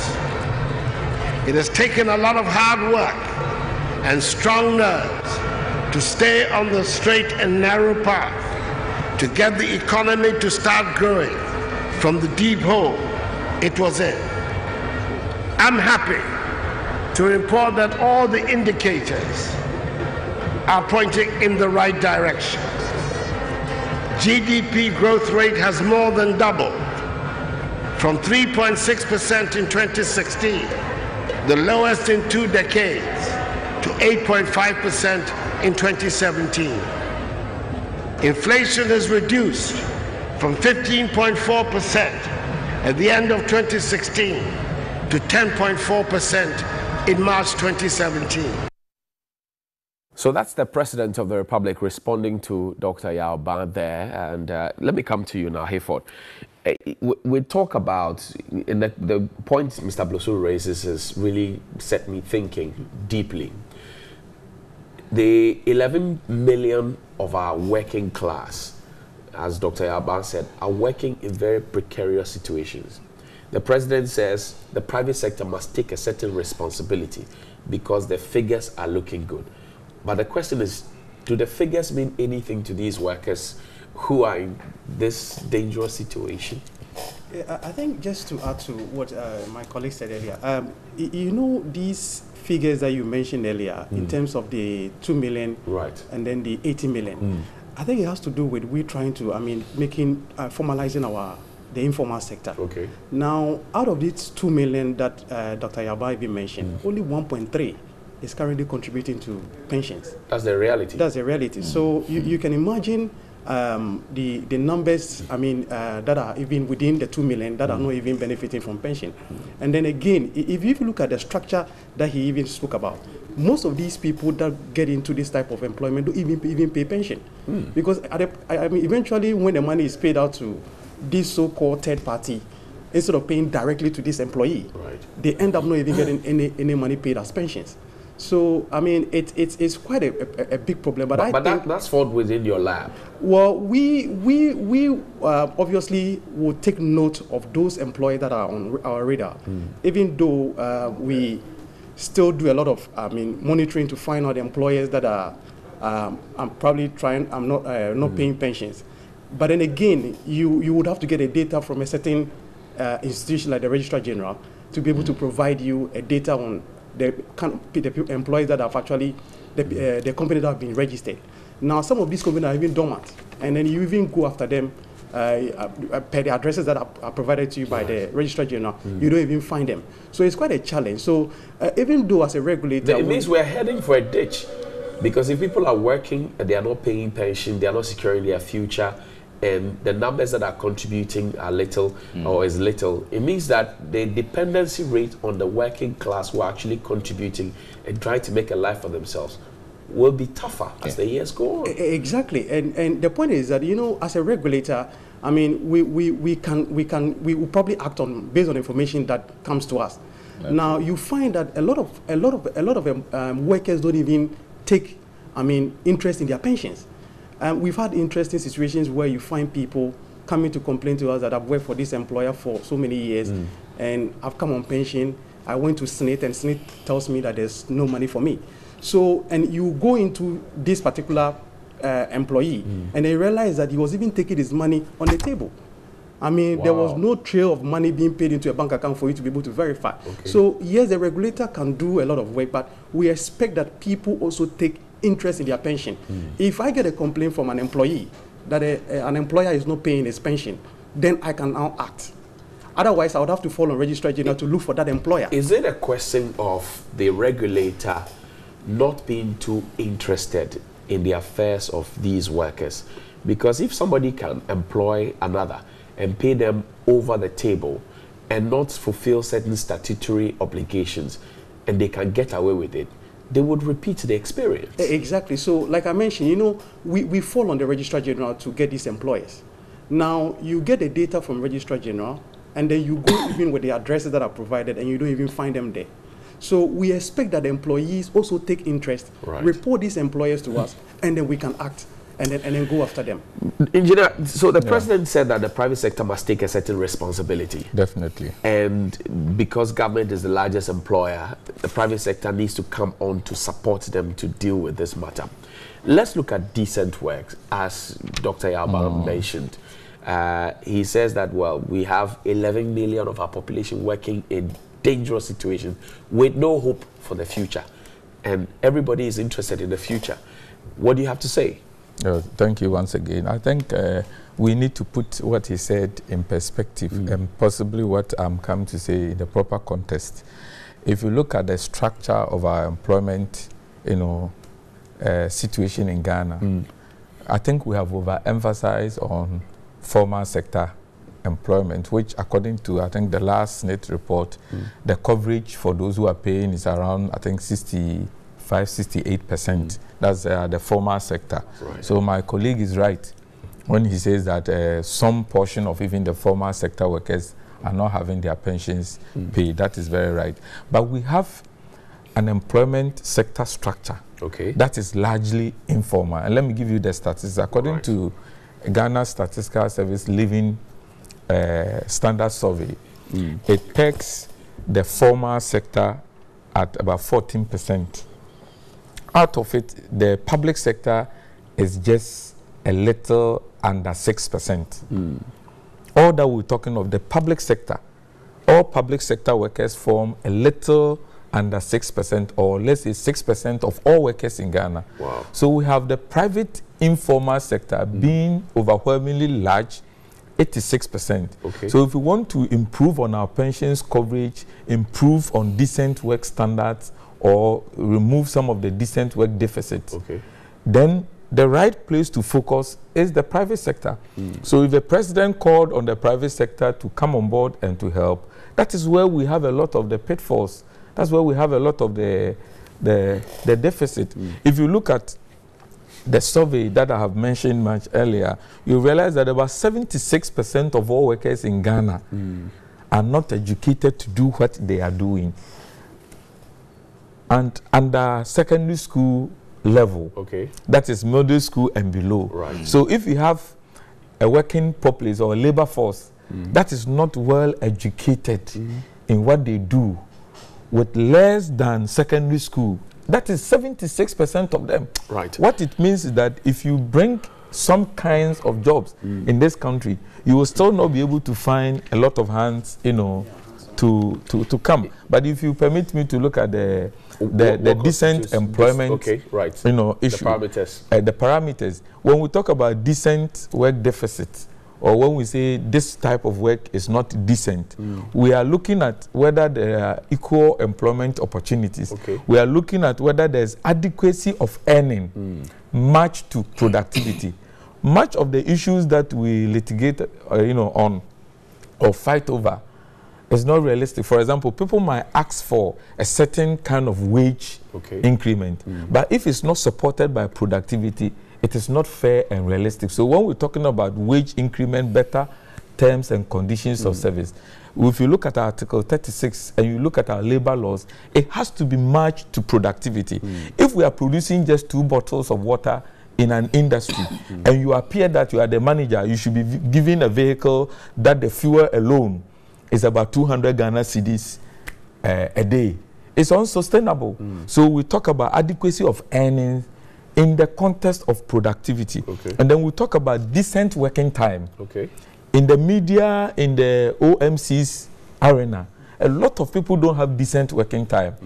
The average working hours per week is 40 by ILO convention and by our Ghanaian laws. Right. And then on the average, on daily basis, it has to be eight hours. But there are some people who go to the filling station, hmm. they work 12 hours and beyond. In the private security firm, they work 12 hours and beyond. And it moves on. They- some they- of them they don't aren't- go on leave. They are in jobs, so if you find one, you do everything to hold oh, on. I, I understand. Per, per the conversations that I've had with people, I- I say, understand. even though they are pressed and they know what they are, they are being exploited. they hold on because they are talking about bread and butter issues. That's How do you point. reconcile the two? We- yeah, but when we, the term decent work is not a simple term just to mean one thing. Okay. That's why I'm giving you the parameters. If you are unable to combine, if your the, the, the nature of your work is such that combining family life, mm. personal life, and work is extremely difficult, that is also an indecent work. Okay. Yes, it's, it's a serious deficit. So the work must be crafted in such a way that you should be able to combine family life, okay. work, and personal life. Quickly and then there should be a stability and security of your work.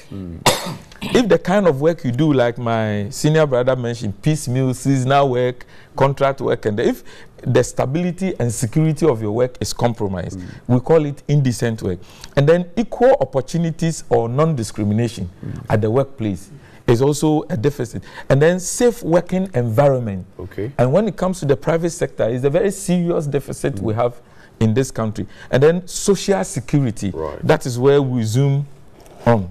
okay. Whether in your old age you have adequacy of earnings, but if you're already in your working life, you are in the informal sector, you are not earning enough, you are not making a contribution. It stands to reason that in your old age, you are not going to have some of these secured benefits. And then social dialogue at the workplace.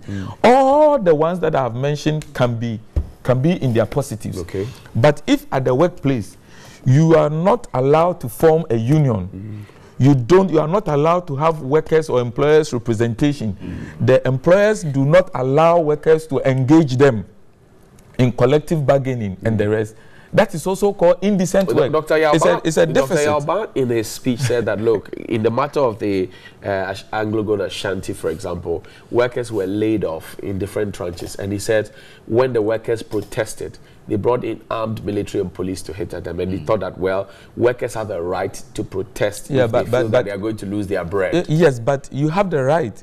Let us also not uh, lose sight of the fact that the employer has also the right to to protect its property. So if your protest is going to be the violent one or is perceived to be the violent one, definitely. And you look when workers are aggrieved.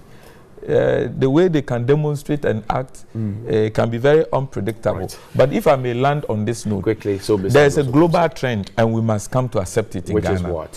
Which is the former type of work is giving way for informalization in a way. Where people are employed as permanent workers, you were hired probably after you finish tech at the age of 25, and the next time you, are, you expect to lose your job is when you turn 60. Okay. No, it is giving way on the on the globe. It's not only in Ghana where people are increasingly going for contract workers, piecemeal work, seasonal work, and that type of thing.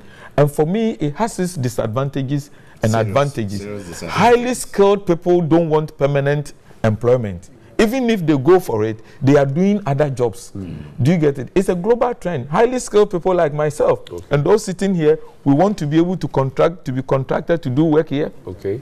To go over there, transport my skill Okay. across sectors where it is needed, mm. not to be secured in just one place forever in my life. So that type of trend is giving way. And the time has come for us as Ghanaians to also know that, look, we need to be entrepreneurial. Mm. We need to also try and change the way we educate our people. The fact that you have been hired when you first got your employment, po- possibly when you were in your young age, mm. does not mean that you, the only time you can exit is when you are going on We'll, we'll come back and talk about way. whether or not So we, we need to avail ourselves to some the, of these things. The workforce has the requisite capacity and qualification to deal with some of the things you're talking about. But let, Mr. Belusu, let me come to you now. The, the question of uh, workplace safety, which uh, engineer mentioned, we've heard many stories about people who work in factories, they get maimed by a machine, uh, indecent, uh, you know, treatment, chained, uh, chained, chained you and know, rest. and beating and all of that. And they stick with it, as somebody said, because ejumane mini ho. So they are trying to put up with what is there just to survive and keep body and soul together. On this May Day, what can they hope for? How do we fix that problem?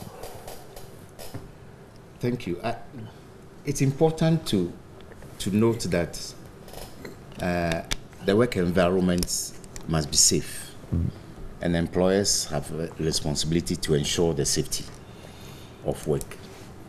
And workers also have a responsibility when they feel threatened to remove themselves from imminent danger at work. And go and do what? No, they, they complain and report and draw attention to that. If if the if the their complaints are not addressed, they remove themselves from the the imminent dangerous situation okay. and report to the labor department. And we have labor departments all over the country and in all districts. We've had cases where people have reported uh, to to the, to you know duty bearers, yes. and then we have had people from those side the side of the duty bearers go to blow the whistle and say, "Oh, eh, Akwawe is this man who came to Yeah, report that- you," that's highly- because they are getting That's highly they are getting unprofessional. It- it- paid yes, by these people. That's highly unprofessional. If if it so But it happens. That's the reality. That's highly unprofessional. And if any are doing that, I think they, they need to they need to stop that immediately and respect the confidentiality Mm. that is inherent in their work. Right. But my colleague mentioned a global trend of work. Exactly. Uh, but when he mentioned some of the attributes of decent work, he mentioned stability and security at work. Right. Now, does the global trend provide stability and security at work? No, it not doesn't at all. Uh-huh. and therefore, it's not because it's a global trend that that makes it something worth uh, emulating. But we have we have our own standards. Okay. At work. Have our standards helped us? Our standards have helped. It's only that we we're not we're not ensuring their their strict adherence and implementation. Yes. Hey, for let's talk about uh, negotiation because in a pre-May Day uh, forum organized by uh, Labour and uh, Frederick Ebert Foundation, they talk about the fact that uh, just about 375,000 of our contributors for SSNIT uh, are, are earning about 300, 400 Ghana cedis, woefully inadequate. Now, juxtapose that with how much people earn, how much they contribute, and what life they can hope for in the future. Tell me about it. Yeah, um, so you, you see, with I mean, as far as uh, pension or a worker's pension is concerned, um, you could only fall on the fact that um, in our law, um, um, the minimum um, uh, salary that can be used for pension contribution is the minimum wage. Right. So once the minimum wage is set, there's little that we can do as a regulator. But if you look at um, the kind of benefit that uh, SSNIT in particular has been paying, it is quite always above what the um, minimum pension, the minimum. Uh, They- they subsidize sometimes. Yeah, it's, so, so basically, what what SSNIT does every year is that they do what we call indexation. uh, basically just to improve the purchasing power of the pensioner. So you find currently a pensioner, a minimum, uh, a minimum pensioner getting about 300 Ghana cedis right. on the pension. And and if, if you look at the even the, the what can they do with that? now now if you look at the, the the history, the work history of this particular person, mm. you realize that this person was even earning a salary that is even lower than the 300 cedis that uh, SSNIT is provided. While he was in active was service. It was in active service. So, I mean, you find it, because what SSNIT pays is more than minimum wage. Right. The 300 Ghana cedis is actually more than minimum wage. Right. So you find a situation where this person actually earns um, something very low. Now, you, uh, there are instances where somebody probably was working Okay. and then left job. He was he earned a very low salary, say in the 90s and Mm. then in the 2000s. Now, when this person approaches SSNIT or he probably goes on pension, SSNIT is still going to pay him the minimum pension, even though he contributed on a lower salary. Okay. So we, we as a regulator would only fall on the fact that a certain minimum wage has been agreed by government, okay. and then we have to work on it. We, we don't really sort of get involved with the negotiation as far as we How, how do we uh, uh, raise the minds of the people who go into these negotiations? So you go for an interview, you go into a negotiation, they are offering you fat allowances, uh, fuel allowance, clothing allowance, and then your basic salary itself is on a very low. Do the workers know that their pensions will be calculated based on their basics and not all the embellishments that come with the salary that make it look big? Yeah, yeah. I, I- I think, you know, I mean, if you look at our setting, I think we, we prefer to spend money or enjoy money today than, I mean, later. I mean, you, you, you find people when they are working, Okay. they prefer to even be paid their whatever even mm. supposed to be paid Ca- towards ca- pension. Can I interrupt a bit? The, the pension, according to the pension laws, does not say, and the regulations thereby doesn't say that when you earn allowances and then they're excluded from, you know, deducting the amount from it. It's, Right. it's your earnings. Mm. Well, No. once it's your earning, Mm. there are certain aspects of allowances that people exclude, No. but it's your earnings. And if we are using the proper definition Yeah, Okay. yeah. of earnings, Yeah. you ought not to exclude those allowances. No, um, so, so, so let me, let me. Thank um, you. Um, Thank you, so, Engineer. so um, what, what the, the Act 76 is actually prescribed is actually your basic salary. Right. It actually excluded these earnings. Yeah. Okay, so you, you would have to now work with the basic salary to be able to compute um, the earnings. So I think That- it's, that's it's, the it's, minimum. it's, it's It an issue that have come up for discussion, and I think currently it's being looked into Yeah. whether or not we should be able to add allowances to um, what do you call it, the basic salary. But you know, it, it, it how, is how far have we gotten with that conversation? it just kick-started and, and what, what i know of uh, is not a discussion that's supposed to be left for the employee alone Okay. you also need to understand whether there will be uh, capacity from employers to be able to pay pension on that level it Mm. has to go through a negotiation Right. process to be able to do that so it must not be done from a one one-sided uh, point of view you need to get also employers i mean if you're going to consolidate salaries Okay. um, of, of workers to, to pay pension Mm. then again you're going to raise the, the government wage bill I mean, this is a reality. Right. you're going to raise the government wage bill by that consolidation. Because currently you are just using basic salary. Once you add the allowances, and we need to find out where government is in the position What, to, what is the to- to best practice around the world? Well, the best practices um, requires that you, you, you, you, you use the earnings. So The why don't we use it? That's best practice. We're trying to go global. Yeah. Yeah, we, we, we're trying, but then again, we also need to look for, I mean, in terms of sustainability. Uh, you know, you, you can promise, you can promise, but you cannot deliver. I mean, you, you've had instances where, I mean, employers will probably will default on some of these things when, mm. when it's too high for them.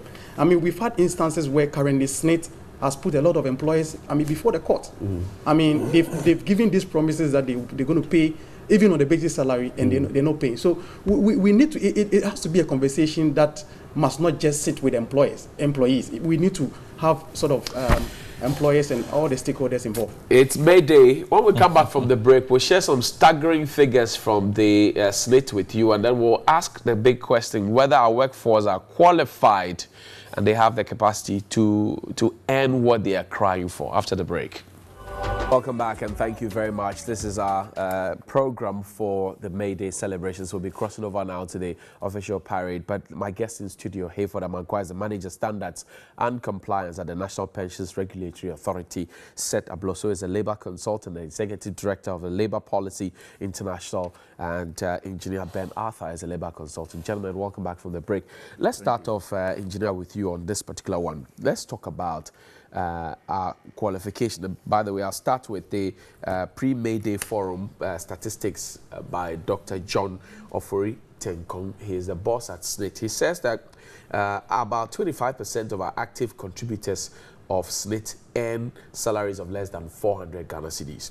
SSNIT's uh, February 2019 data put a total of 1.5 million active contributors at a figure of 400 Ghana cedis.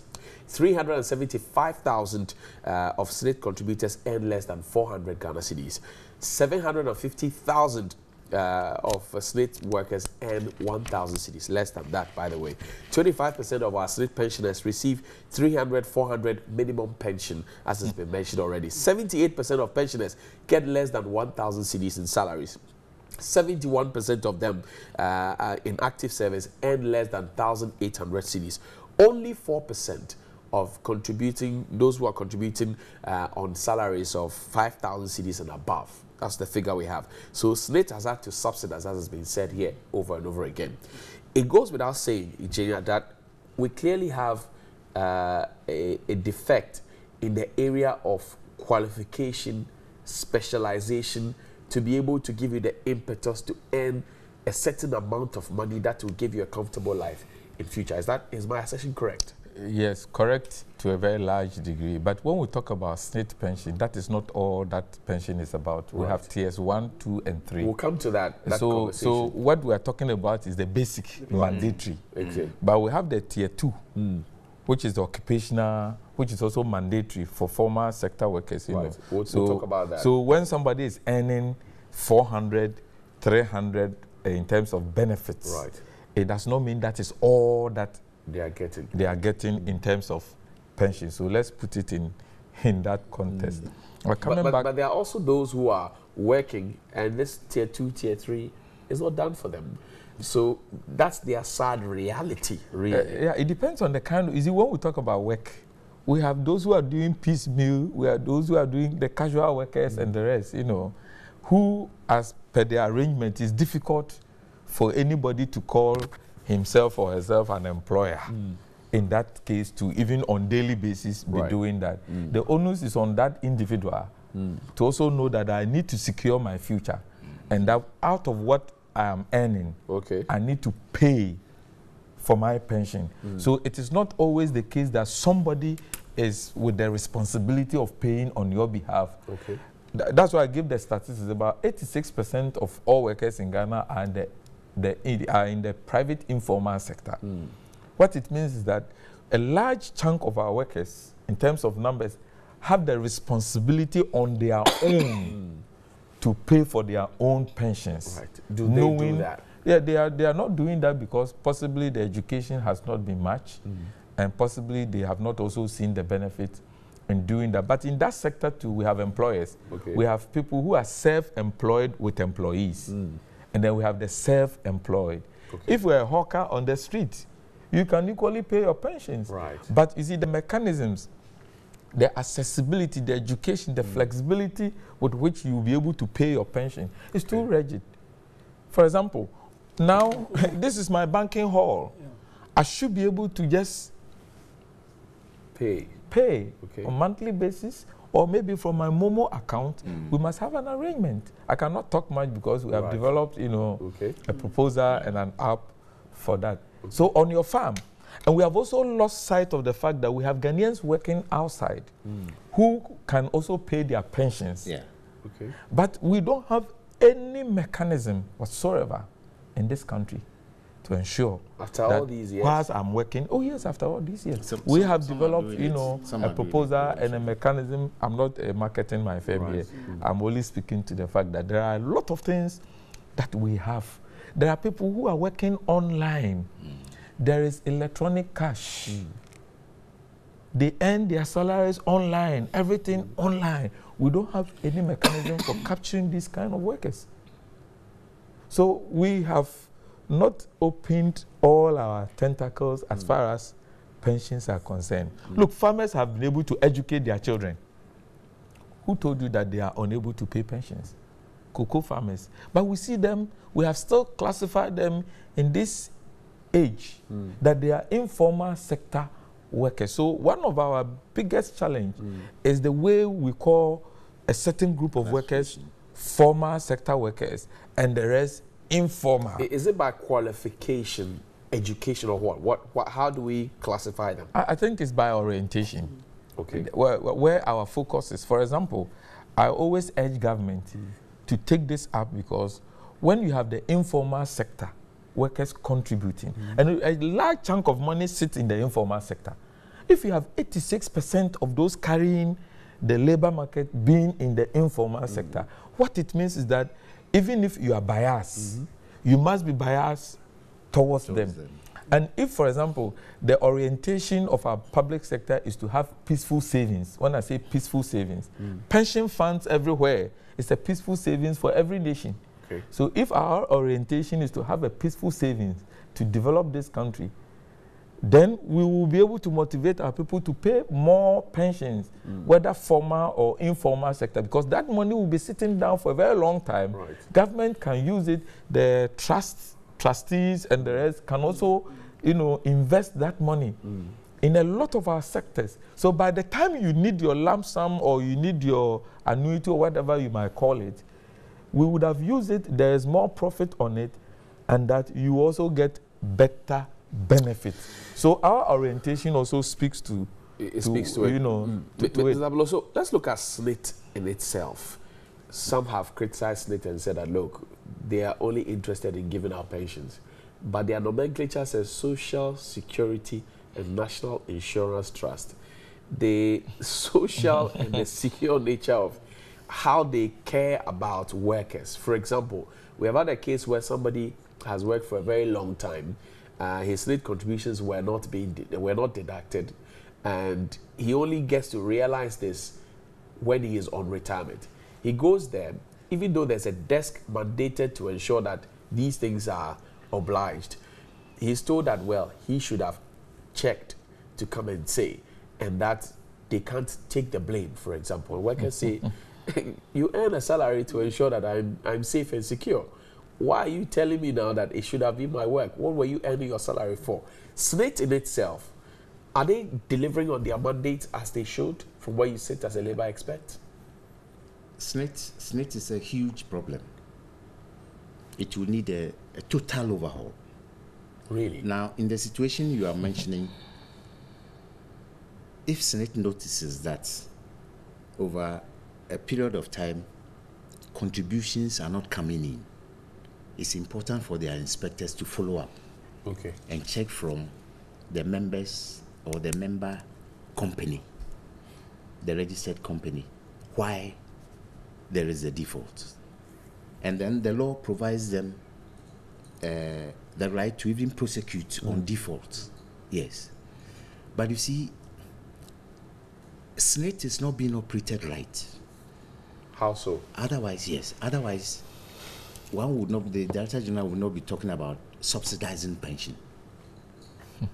because the money in SSNIT is for workers. Now, in the factors of production, we are always told it's capital, land capital, and labor. Hmm. But labor has its own capital. Labor generates capital as well. Hmm. And SSNIT is huge. It's workers' money. SSNIT has to manage the funds, hmm. invest wisely, and use the returns exclusively hmm. for the benefits of those on the roll, the members of the trust, who they erroneously call customers. So you see, SSNIT has no customers, but it's operating a customer service department. and you enter every SSNIT office, there's a sign customer service here. But you have no customers. So it means you've got the you've got the concept wrong. You've got the concept completely wrong. And you are doing a lot of profligate expenditure. The Director General was going around universities selling SSNIT as a product to university university students. He has no business going around doing that. What should he have done? Good. He needs to chase persons who have stolen SSNIT funds. A 2001 forensic audit by Deloitte and Touche, Worldwide Investments and Other Consultants, established that over 18 billion cedis had been stolen. 21 million and over US dollars had been stolen, as well as another equivalent in Dutch marks. They are not chasing this, but they are quick to prosecute employers who, in difficult operations, are unable to pay to pay uh, uh, deductions on behalf of the, their members. So they need to refocus. Now, even with the director general going around, all over there are SSNIT offices. If students need to be educated, people can even literally walk from a SSNIT office to a university campus. It doesn't take the director general traveling around. And then saying, for instance, that SSNIT wants to, uh, some uh, curriculum de- development by uh, Ministry of Education, they want to teach pensions at the lower level. What kind of business is Are that? they getting it wrong? They get it completely wrong. And it's happening because you see, the position of director general is not advertised. If it's advertised and expressions of interest are invited and persons apply, for instance, they are shortlisted by the public service and interviewed before appointment, some of these things will not happen. So you're saying we should depoliticize? We should depoliticize it completely. And workers need to rise up to the to the realization that the money in the trust is theirs. Why- it's not for the Why state. isn't TUC speaking about some of these things? Because they claim to love the workers and to be their voice and to be advocating for them, but they have never made such a point. Maybe they've not made it loud enough. they've not they've not made it loud enough, and one can't tell why. Because th- these are not matters to compromise on. We all know government. You see, in state organizations, which pay on behalf of the workers, as soon as the money lands in the trust, it's to the credit of the member, Right. not the customer, member. Okay. So it's not for there's no government money there, and and you see that raises the ridiculous question of uh, a prosecution by uh, the Attorney General's Department of uh, some past executive of uh, SSNIT, Right. and they are being charged with causing financial loss to the state That's when the money doesn't belong to the state. So the, the Attorney General's Department itself has got it wrong. The money doesn't belong to the state. Can you charge for causing financial loss to the state? Let me finally. Uh, Mm. if I may make an intervention here, I agree with him to a very large extent. But if you read our constitution, if you read our labor laws, the pension laws, and maybe it's the pension laws that might have to be changed, but government has a responsibility Of to, course. to social protection and will not yes. be able to sit outside the snit fence and look at individuals, handle matters, and when it gets worse, we will call on government like Menzgold and the rest, you know. So government has a responsibility. Government, But it doesn't even make though it- it doesn't make it government- Government It- do no, it's, it's not government's. You know that's why It on has the a board. fiduciary responsibility, fine. That's why on the board you have. Uh, Government you, you reps. have government reps, Yes. you have labor, Yes. and the rest. So I need to to, To- put to it put in it this. right. That government has a Let me just- responsibility. Right. Of course. Social He- he- protection. he- Hayford wants to make that Let me- me- intervention I think. I think, I think um, um, Seth's points um, um, needs to be also looked at from um, what, what we have come as, as a nation. You know, um, SSNIT previously was, was on his own. I mean, SSNIT never had any regulator uh, to sort of uh, Yeah. supervise them. Right. Now, there's been a lot of things that are happening now uh, just to be able to bring SSNIT back to, I mean, where we want SSNIT to be.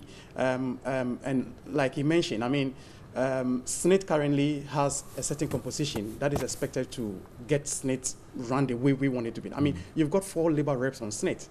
Uh, you've got a government rep, and then you've got the director. So SSNIT is not just for, I mean, it's not a one-man show where you find a director. You you need to, I mean, go through a, a board to get a policy to be able to run SSNIT. So we, we're doing a lot, and like I said, the regulator is currently scrutinizing SSNIT. I mean, um, just recently, How, this, how, how so uh, when, for example, in the matter of the software, you saw how much money we're told that we lost and no, really nothing is happening. No, I, I think that, that, matter, that should be a major concern to all of us No, that because that's matter, our I think, money I think that wrongfully matter, used. that, that matter is in court It's in now, court, and I, I sub wouldn't want judice, to. I yeah, wouldn't- yeah. So, Right, so Ga- wh- what- I what- wanted to ask a question. Sorry for cutting it. When you say SSNIT is subsidizing uh, pensions. I have been hearing that. And where are they getting the money from to subsidize? Well, the director general said it that they are subsidizing. No, He- from- from- he did from not which tell us. He did not No, tell it- us it- where. it's- it's- no, I- I- I- correct. I think- I think- I think from which it funds? But, but, but No. he mentioned that they have uh, investments and assets. Yes. And,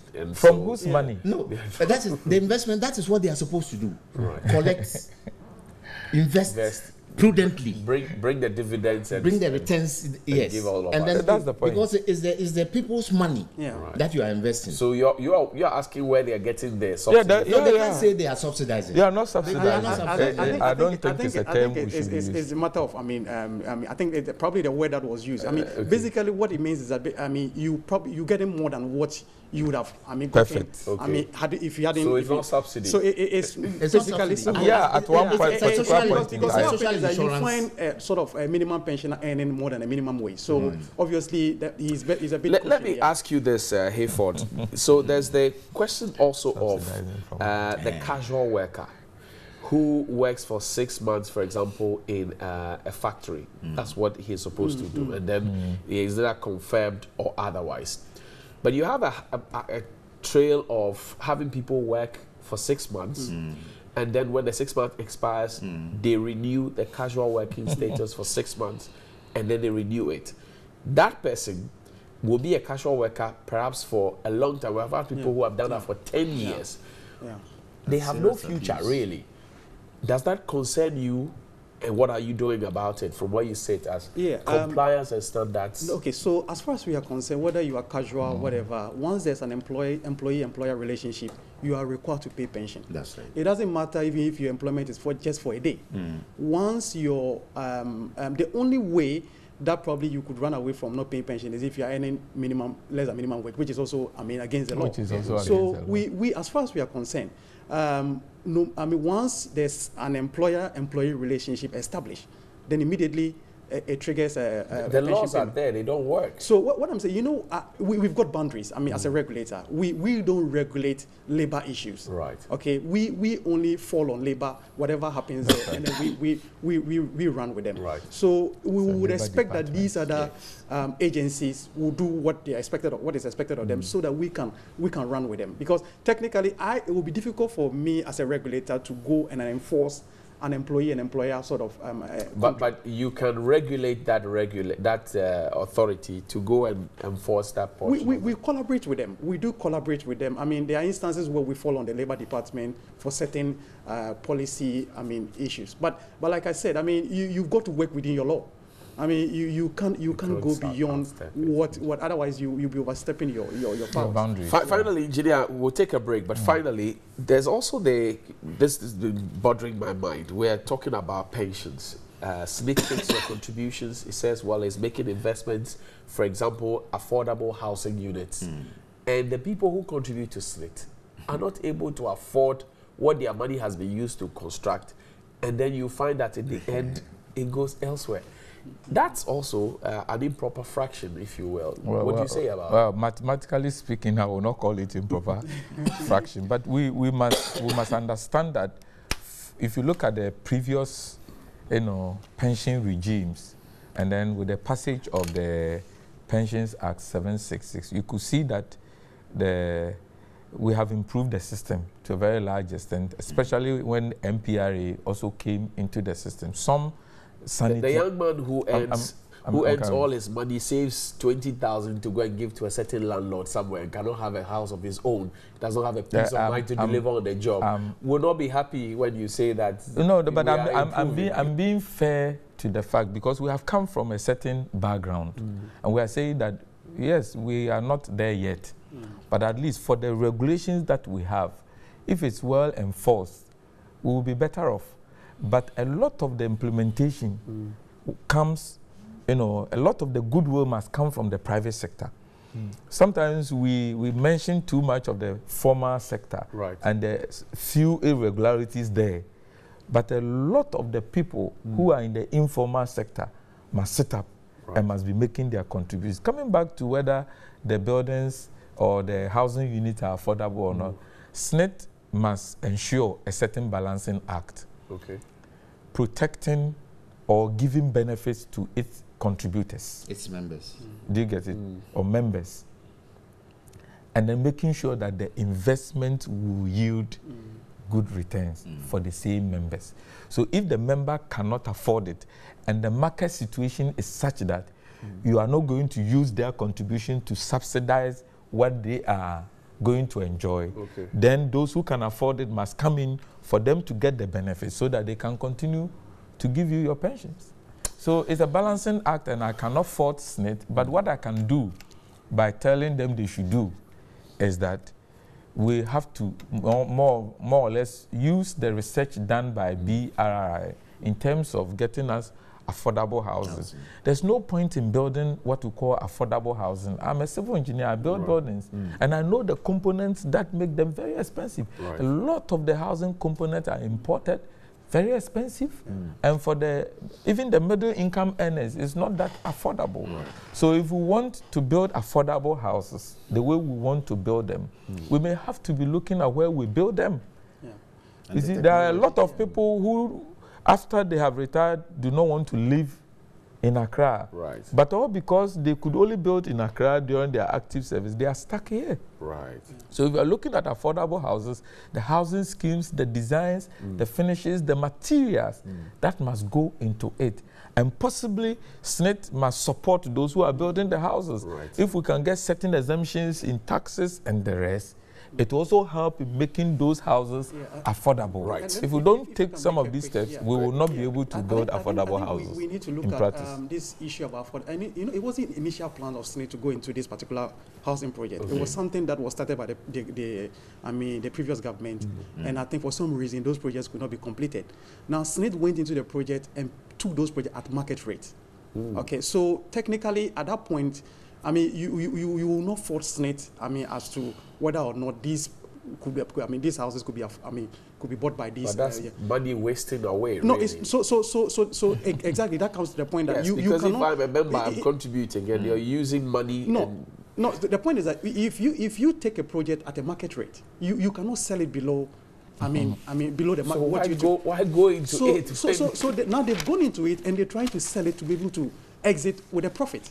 I mean, i- i- if you do that, then probably you're just going to could lose pensioners' money, or, the, or for, on the basis of the fact that you want to give affordable houses to pensioners. Eh, So, so that is that is that is the point that I think we need to- The first option then is to give it to, to first option to members. Right. Yes. But they don't. Members first. Members first. And then and others then others. No, me- members first, but at a, at a commercial rate. You, you see, because you have taken a project at a commercial rate. Okay, if it was at the, if it Why was go in there to take it at a commercial rate no, in the first place? The point was that I mean, it was it was I think uh, sort of a, I mean uh, arrangement between SSNIT and government. Okay. But but again, if you look at even affordable housing, there, there are a lot of things that have been created under the act where pensioners could also take advantage of under the tier two and the tier three. I mean, you We'll- could we'll use come- you. we'll talk about that You could yeah, exactly. So we'll talk about that after the break. After the break, there's more. We get into tier one, tier two, tier three, and all the issues in between. Stay with us. We'll be right back. Welcome back and thank you very much. My guest in the studio here for the Mankwa is Manager Standards and Compliance at the National Pensions Regulatory Authority, Seth Abloso, is a labor consultant and the Executive Director of Labor Policy International. Engineer Ben Arthur is a labor consultant. Gentlemen, welcome back. Let, us zoom now into tier one, tier two, tier three. Yeah. Are workers better off under these optional pension schemes?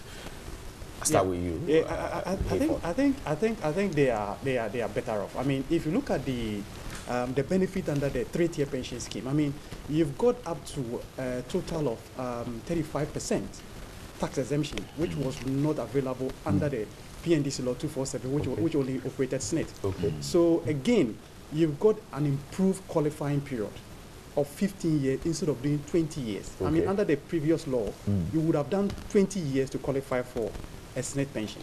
Now you are you are allowed to do 15 years Mm. to be able to qualify for the monthly pension. Right. Again, there's also this aspect of mortgage where you can use your pension to actually mortgage for a primary residence. So Mm.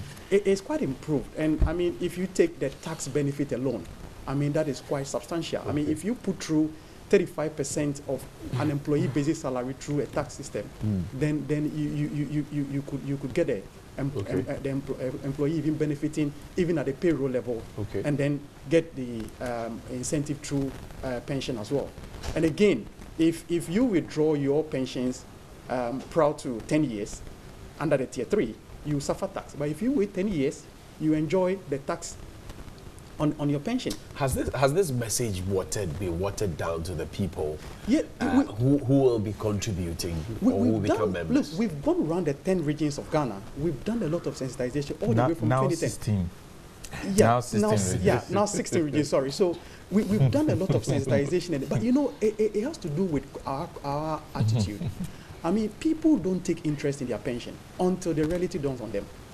I mean, you've got to look. We, we've even written to institutions to invite us at their staff their best to to sort of give them education, and some of them even don't even, I mean, give us that opportunity. Mm. So we, we expect that yes, we're a regulator. We'll try as much as possible to do, I mean, uh, um, do our mandate. But then we expect people to take interest in pension. I mean, there are a lot of radio, and I, I'm sure you, your your station probably is currently running some of our education material I mean, programs. Mm. But the, the, the reality is that people don't take pension serious. And it's not a Ghanaian thing, it's a global thing. People get to get, I mean, interested in pension when they actually age 58 or Wow. even 59. Yeah, that, that is a reality. and and we, we, we really working on this particular, I mean, issue. Do we have timelines to this? Um, we, we, we know, as for education and sensitization, it's not an ending problem. But you want to achieve a certain result over a certain period. Do we have a timeline for traveling around the country, uh, seeking audience, Yeah. playing materials, and educating people? Do you have a timeline to say, oh, by 2025, we want to have such an appreciable number who understand this, who are contributing efficiently and effectively, and are getting a better pension or guaranteed? If you look at when we started, most of the education as I said, was being run by the regulator. I mean, we, we had a support from uh, the Swiss government uh, through um, um, what we call um, uh, an agency called SECO.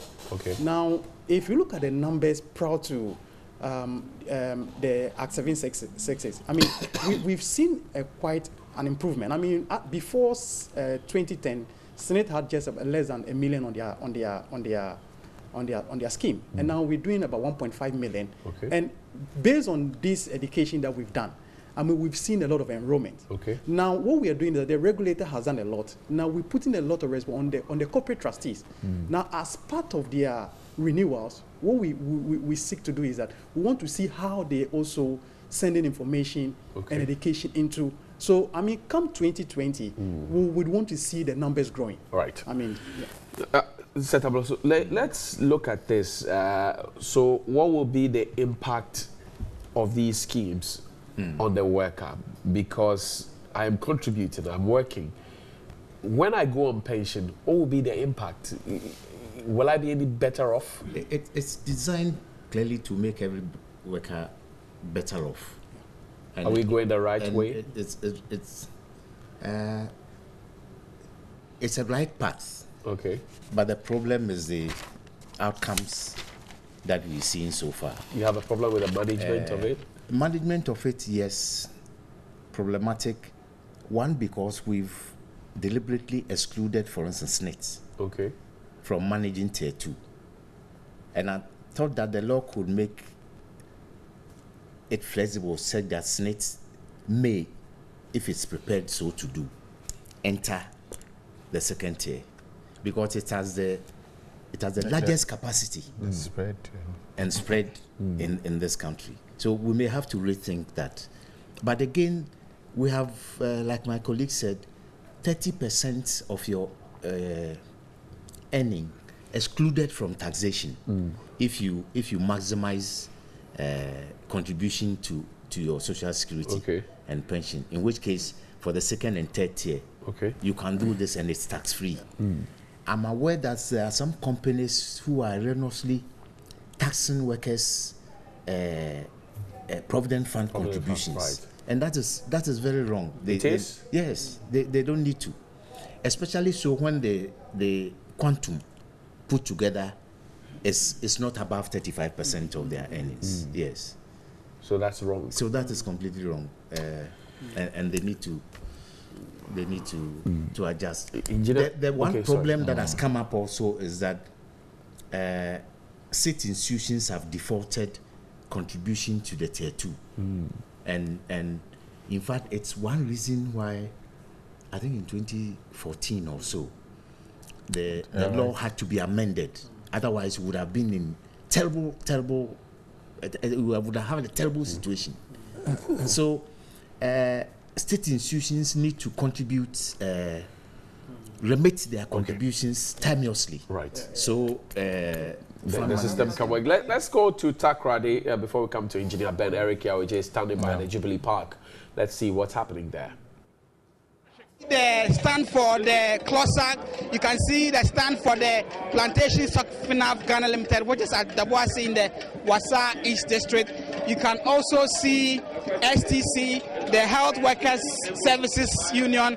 You can also see the Maritime and Dock Workers Union. And you know, recently they've had some problems with regards to the MPS deal where they believe that some of the workers will lose their jobs should that contract take effect. I'm also currently at Gridco stand where they say Gridco is viable. Government pay our ESLA and also lack of maintenance means more dumsor. Energy minus Gridco is equals to dumsor. Gridco is bleeding. Since today is for the workers, I want to find out from the workers how their lives and how their working conditions have been for the past year. I'm currently at the stand of PDS and some of the placards read PDS, your new electricity service provider. PDS here to improve the quality of customer service. I'm not sure some customers would be too pleased with this particular um, inscription because over the months since PDS came into effect, power has not been that stable. Uh, tell me how your condition has been since the, this year began. Um, thank you very much and good morning to all workers and especially for staff of PDS. PDS, we are here to serve. Um, our journey to the current situation of PDS started somewhere 2014 when government decided that he wanted to uh, give PDS to a ECG to a private uh, man. And therefore, we as a worker decided that no, we, we are better, we will be better served to manage our own affairs rather than to give the whole distribution sector to a private man. But we fight and fight. There's no way you can fight government. And therefore, what we needed to do was to ensure that our condition of service is incorporated into the final RFP. Secondly, um, from from the beginning, we are told we were told that it is 25 years, and five uh, the first five the first five years nobody is going home. But we begin to ask questions as to after the first five years what happened. We were not giving any credible answer. But when the new government came, we push and push and then we have our um, the 25 years being reduced to 20 years. Okay, thank you very much. Um, I also moved to the Ghana Water Company Limited for him to also tell us about working conditions so far. Oh, so far so good. Working conditions has stabilized ever since AVRL left and GWCL took total control. We believe all has been well our major concern as we speak now is the desalination. We are called the desalination plants at the Teshie-Nungua enclaves. We are of the view that currently Ghana Water is trying to produce and distributing water to the Teshie-Nungua enclaves we are calling on the government to abrogate that contract because it's a total drain to Ghana Water revenue. That's our plea to the government. I should take a second look at it and trade it off from the shoulders of Ghana Water. It's a major concern to us. How about your SSNIT contributions? SSNIT contributions, the second tier is working all right, but we expect that it should be put in the proper investment so that at the end of the day if the worker is not is going home it shouldn't be a problem for him or her assessing a second tier. Three contribution has been okay for us. We don't have much problem on that. But the matter is the investment where it is being invested. We make sure that if the worker is due to take his due share he should be able to to have it without any hindrance Thank you very much. I'll move on to this gentleman. Um, you are with the private sector, Yeah. Plantation Socfinaf Ghana. Ghana Um, tell us about your working conditions. Uh, our working conditions is cool, but we are trying to because we have been in existence for six years now, and as a new company, you know what it means. Gradually, we know we will get there. But one thing that uh, I always think is that the media, you people, should come to our place and see the good things that we are doing there. For, for six years now, we haven't even seen any media. I, will come to that. We'll come to that. But this Yeah. this moment is for you. I, I I also want to find out from you. Will you say you are happy as a worker? Yes, of course. First and foremost, we have a job which is secure. huh? And we know for oil palm plantation uh, and rubber, we have a job for the next 40, 50 years. So we are urging the government to go into oil palm plantation and rubber too. Okay, thank you very much. I will also come to Gridco. I want to find out from them how their working conditions has been so far, and also whether they are happy as workers. Um, you work with the VRA. Tell me, are you happy as a Ghanaian worker? Okay, he, he doesn't want to speak with us. I'm with the TEU, I'm with the Teachers and Educational Workers Union. Um, ma'am, are you happy working under TEU? I'm not. Because Why are you not happy? I'm not happy because we, look at this. We um, as at now, the government has given um, some money for workers of uh, teaching. 80% for teachers and 20% for non-teaching. It's very, it's very odd. It's not, it's not good for us to take non-teaching 20% and teachers receiving 80%. It's very, it's very, it's very, it's very something. It's not good. So we are not happy about it. So what do you want to see government do about it? We want government to give us 40 and give teachers 60. Yes. We want, we want government to give teachers 60% and then non-teaching 40%. Yes. Um, also, how about you also? Ah, me me de Rebecca Mensah, me wa be supporter girls. Ah, pain na tewu no, yen kitchen staff no obubu ye musia, especially sa double strike by ye. Ya fa teachers double double double so kitchen. They be nyane pain no so ade bia e wo form. Breaks allowance yen senka. Wokɔ hospital wɔ bills ti sɛ wɔn na wotua nti yɛsrɛ sɛ bɛɛ aban no ɔhwɛ na ɔnyɛ wo biribi ayɛ saa kitchen fɔ yɛbɛkɔ strike. I'm here at I'm here with the GPHA workers and in recent times they've had problems with the MPS. I want you to tell me why are you in red? because we are serious. Because we are serious, the MPS is collapsing Ghana Port and Harbors Authority. We are not ready for any foreign country, any foreign company to take our job from us. We are not ready because 1,400 people are going to lose their work. We are not ready for that. Thank you.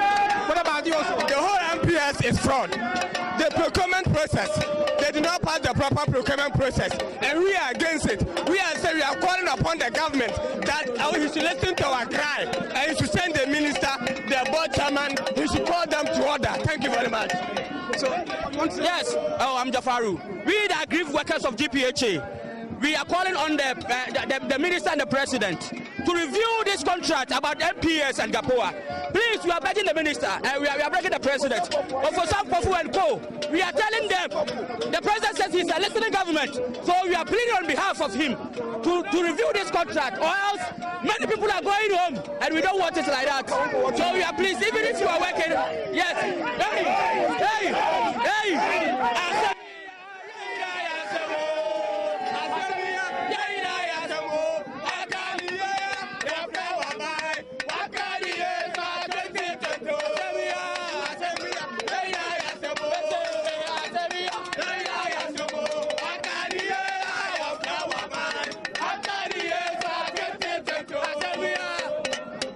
these are you are still at the Takoradi Jubilee grounds where this year's May midday celebration is being marked. We are currently at the stand of the Civil and Local Government Staff Association, CLOSSAG, and I want to find out from them how their working conditions are.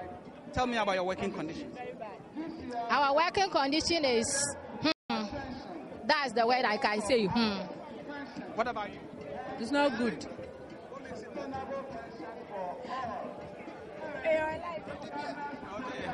Tell us about your working condition. Ah, very bad. You know, before they won't buy any crowd, you owe me on one bed, we will show you. But can I work as a breast serious? Or I work as ye? Obi asul brew ana. Ase. Obi ale bre. Obi ale bre, but work as you you want Ghana party, because they want to. You go there, that money will team oil or gas. What's the region? You're going to point yet. You can just on yet.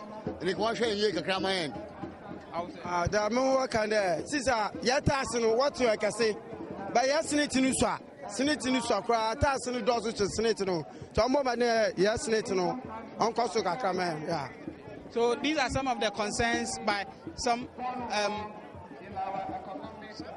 so these are some of the concerns from some of the workers assembled here at the Jubilee grounds marking this year's May Day celebration. You, you hear from them that they are not too happy with their working conditions. My name is Eric Yoje, reporting live from Takoradi here the, from the Jubilee grounds. And that's Eric Yaweje there, uh, bringing us live pictures from the Jubilee Park in Takoradi. The workers say, uh, Ijumano, uh, but uh, engineer, quickly take a bite on the uh, tier one, two, and three. Uh, you know, briefly. Yes. Um, um, I think I think there was a statement that was made by Seth to the effect that there's been some default on the tier two. Um, I, that has been paid. I mean, if you look at the, uh, there was some government indebtedness to the tier two that has been paid with a bond now. So I mean, currently, uh, government is on. I mean, is on. I mean, the payment is coming through. I mean, what? So I think I need to just. Okay. Yeah, Engineer, quickly, so that we can wrap up uh, nicely. Well, uh, for, for, for us as a nation, it's good news when we had a multi-tier pension, you know, scheme, and it's, it's one of the best schemes that you can have, you know, in the world, the multi-tier. But what we haven't done too well is to to get the benefit of it by the masses mm. because of the large informality. Mm. When I say the multi-tier, there are a lot of benefits. My colleague Hayford had already mentioned a number of them. But there's mm. one thing that people ought to take advantage of, apart from the fact that whether you are a formal sector worker or in the informal sector, you have the mandatory, you know, tier one, which is the basic, you know, pension contributions that you have to make.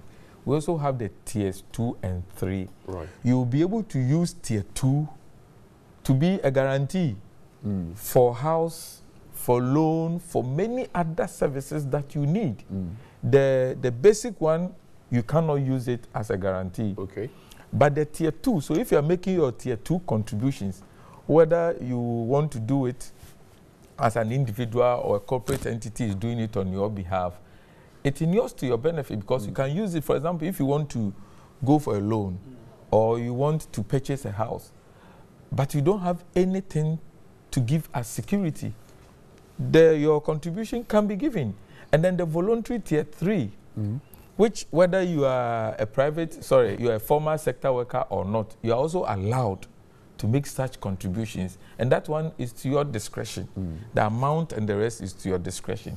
It is also a lump sum that will help you. So it's like a tripod okay. kind of system. For the informal sector, that is where they can benefit. And I'm speaking to taxi drivers today. You are a taxi driver, you have been driving somebody's taxi for a very long time. Mm. Nothing stops you from making your contributions. For example, the, the voluntary tier three. If you have been making such contributions, maybe mm. 20, 40 Ghana cedis per month, and you have been driving somebody's taxi for 10 years and so, you would have saved enough mm. to use it as a guarantee to get your own taxi Right. on a higher purchase or what, whatever the mm. scheme might be. So we stand to benefit. It's a multi-tier scheme, but the education is low. The, the, the question, People, mm. the question, sorry, the question that comes up then is, how much do I earn to be dividing my money into three parts? let, let, let, let, let, me give you a scenario. So I earn, I earn, for example, 700 Ghana cedis or Uh, is it a month or so? Yes. But interestingly, in the informal sector, hmm. apart from the crop farmers who are the, the most vulnerable hmm. as far as Because work is seasonal. concerned, hmm. they are the most. The rest, let's take artisans for example. Most artisans earn more than a lot of civil servants. Right. Can you imagine earning 70 Ghana cedis a day and in a month you are able to do 20 days in a month of work? Mm. You will be able to make a contribution of 40 Ghana cedis a month. Mm. So one day, one pay for you in one day alone can pay that 40 Ghana. Right. So a lot of people can make that contribution. But as whether their monies will be secured, whether they will get the benefit or not, that is mm. where I think people are afraid. Mm. But I can say that the mm. education has not gone too down, especially in the informal sector where we have a lot of the money. private sector that's managing that, that portion of the, the tier two? Uh, It's, it's the, for tier two, it's not a it's not a question of the private sector or not. It's still mandatory. As for tier two, it's mandatory. It's not as if you can run away from it. It's just like the, in fact, it's an occupational, more or less, uh, scheme. Okay. I hope you get it. Right. So you are not running away from it. But tier three is voluntary. Voluntary, okay. And wherever you are, whether you are selling charcoal, whether you're a shoe shine boy, or whatever you do, whether you're a cook, a house up, whatever you do, if you are being paid uh, from the on the, uh, the, the the tabletop, uh, uh, let's say 20 Ghana cedis a day, 40 Ghana cedis a day, you are by day you are going to weed on somebody's farm. Whatever you earn, hmm. I am certain that if you care about your future, hmm. you should be able to make a contribution. Okay. We'll take a break. Our last one, I'm sure. When we return, we'll wrap up the conversation. We're asking the question after the break how do we get better pension for all of us? Stay with us. We'll be right back. Welcome back. Let's wrap up with our, my guest, uh, Hayford Amankwa from the NPRA. Seth Abloso is with the Labour Policy International, and uh, Engineer Ahin is a Labour consultant. Engineer Atta. Uh, sorry, Arthur, I beg your pardon. Uh, Hayford, let's, let's take your closing thoughts. It's said that the labourer deserves his wages, uh, but in a situation where you find that issues like TNT and maybe transfer grants are still owed by government to teachers and all of that is a big problem. Towards a better pension for all of us, what should the public know? Closing thoughts. I, I- think um, the, the three-tier system has given us a best pension, I mean, I mean for, for, for Ghana. Look, um, if you look at what we have under SSNIT, you are allowed only to declare your basic salary Right. for the SSNIT contribution. Now, under the tier, tier, tier three, you are allowed to use your income. Okay. So technically, if you've got other income like other allowances, you could actually get up to 16.5% of that declared or consolidated salary Okay. to be able to improve your pension. Right. So in, in the tier one, you, you, you get a monthly pension, I mean, I mean from SSNIT, and then you get a lump sum under the tier two. Even though the tier two is capped, hmm. now it is it, the, the, the tier three is sort of open up, up to about 16.5. Hmm. So if you're a worker today and you want to do more, and even enjoy the benefit, the tax relief now, Mm. you can do 16.5% Right. on your declared income. Wow. And then again, if you come to come to the um, those in the informal sector, there's also a window of opportunity given to them under their tier three, where they can actually contribute towards a personal pension plan. Mm. Now again, that plan gives them a savings account and then a pension plan that can be, I mean, uh, withdraw after five years. So, I mean, Mhm. there's a lot of opportunities, Mm. and for them, what is used is your declared income. So you could tell the whoever is taking your trustee Mm. any amount that you want to contribute, and that, that will be accepted. Mr. Abloso, it's your it's your turn now. Uh, single spine, uh, tier one, two, three, pub, public safety, workplace safety. What are your closing thoughts for us this morning? Thank you. I think the regulator needs to be robust in in performing its functions. Secondly, it's important that for several years now, Ghana has not ratified ILO Convention 102 on Social Security Convention minimum standards. Yeah. It's important that we, we ratify that. Uh, so also is uh, recommendation 202 of 2012, ILO recommended that that provides a comprehensive framework for social security and social protection mm. management, and which enjoins us in this country to report annually And when we have challenges, the International Labour Organization comes to our assistance. Okay. It's important that that that we look at this. But above all, a lot really depends on us. And ILO Convention 158, which provides security of employment, where you cannot terminate appointment without giving reason. Right. It's important that we ratify that also. I recall the Secretary General of the TUC mentioned this in May Day 2018. A year on, we haven't seen action on that. Right. But if we did that, there will be security of employment. Okay. Persons will blow the whistle wherever they are Mm. when they see wrongdoing. Corruption will be attacked from the shop floor. Okay. Yes. Thank you. Uh, Engineer Arthur, what have you to say to workers as closing thoughts today? Yes, I will say that, and then you give me permission to make my requests. You know, I know your platform is big. Uh, For workers, and I'm speaking directly to workers, once you work, you must know that at some point in time, work will cease. So you need to make contribution towards your pension so that after you have retired, you can say goodbye to pension mm. and then welcome pension. Mm. It's an extremely important thing. and as you age, you will require more money for to keep your health. You will require more money to keep your house, and you need a lot of other, you know, necessities of life as you age. Mm. So there's a need, whilst you are actively working, to ensure that you make a contribution. Don't give the excuse Okay. as whether you are working in the formal sector or not in the formal sector. Wherever you are working from, no matter how little your income is, it makes sense to put some down for your good use in your old age. And then my request, uh, we have a road Okay. from uh, Santemampong to Kofiase. and the contractor has abandoned the job. Charlie, they don't pay him. Uh, he has abandoned the job, and we are pleading with the sector minister to come in. Another one from Adijuan to Atonsueja, Okay. and then Busum Cheche to Bunso. Uh, you want And, to be a you know- minister now? Oh, no, I'm a civil engineer. So Right, definitely so when they- your they- people they ask you, you. to, to, to intervene, I why see. not? It's been captured in the budget, but we are pleading with authorities that we are one district. We cannot be asking for everything, but at least in this area, they should come and help us. And then the pressor pressor, ours is not dumsor.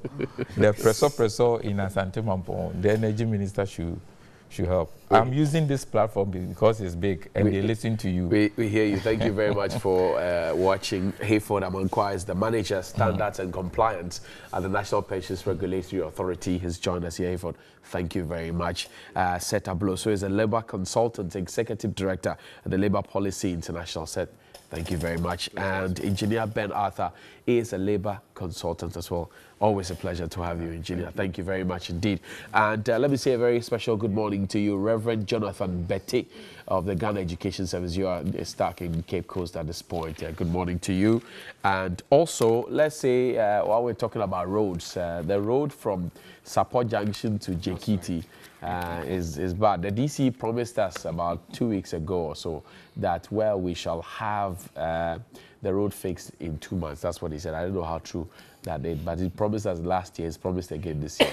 Will politicians ever stop promising? I don't know. But we understand that the president is uh, arriving at the grounds uh, for the May Day celebrations. We'll bring you sights and sounds from there as workers mark this this year's uh, event is uh, focused on uh, well they, they getting better pension for uh, all workers and that's it. These are pictures, live pictures from uh, the venue at this point and the president is set to arrive and um, we will all uh, get get those images to you. We would want to hear what the president will say, especially uh, NABCO, uh, the National Builders Corps, which is said to uh, have employed some hundred thousand young people of this country. Also, you remember the 745,000 jobs we're told were created under the agri sector. Yeah, all those figures will come to play. We shall also hear what the TUC would have to say in response to what the president says today. They, they will have requests, I'm sure. That's the Independence Square in your shot. And I'm sure they will have uh, a lot of, uh, what do you call it, uh, requests to put out there. If you're a worker out there, happy Workers' Day to you. We love you. And uh, we'll be reading some of your messages as you've sent them through on our WhatsApp console Uh, thank you very much for watching. I'm sure we can safely take a break now and then crossover when the feed is ready for the uh, president to speak to the nation on Workers' Day.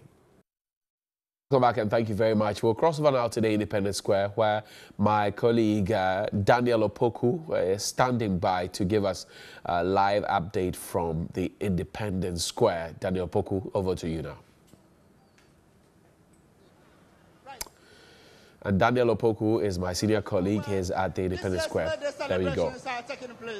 And currently, the place built for the president and his entire team to sit, they have now moved to move under the Independence Square currently. Because of the rains, the situation is becoming difficult. I have with me here Dr. Justice Dofo Youngson, who is the organized labor rep for the National Pension Regulation Authority.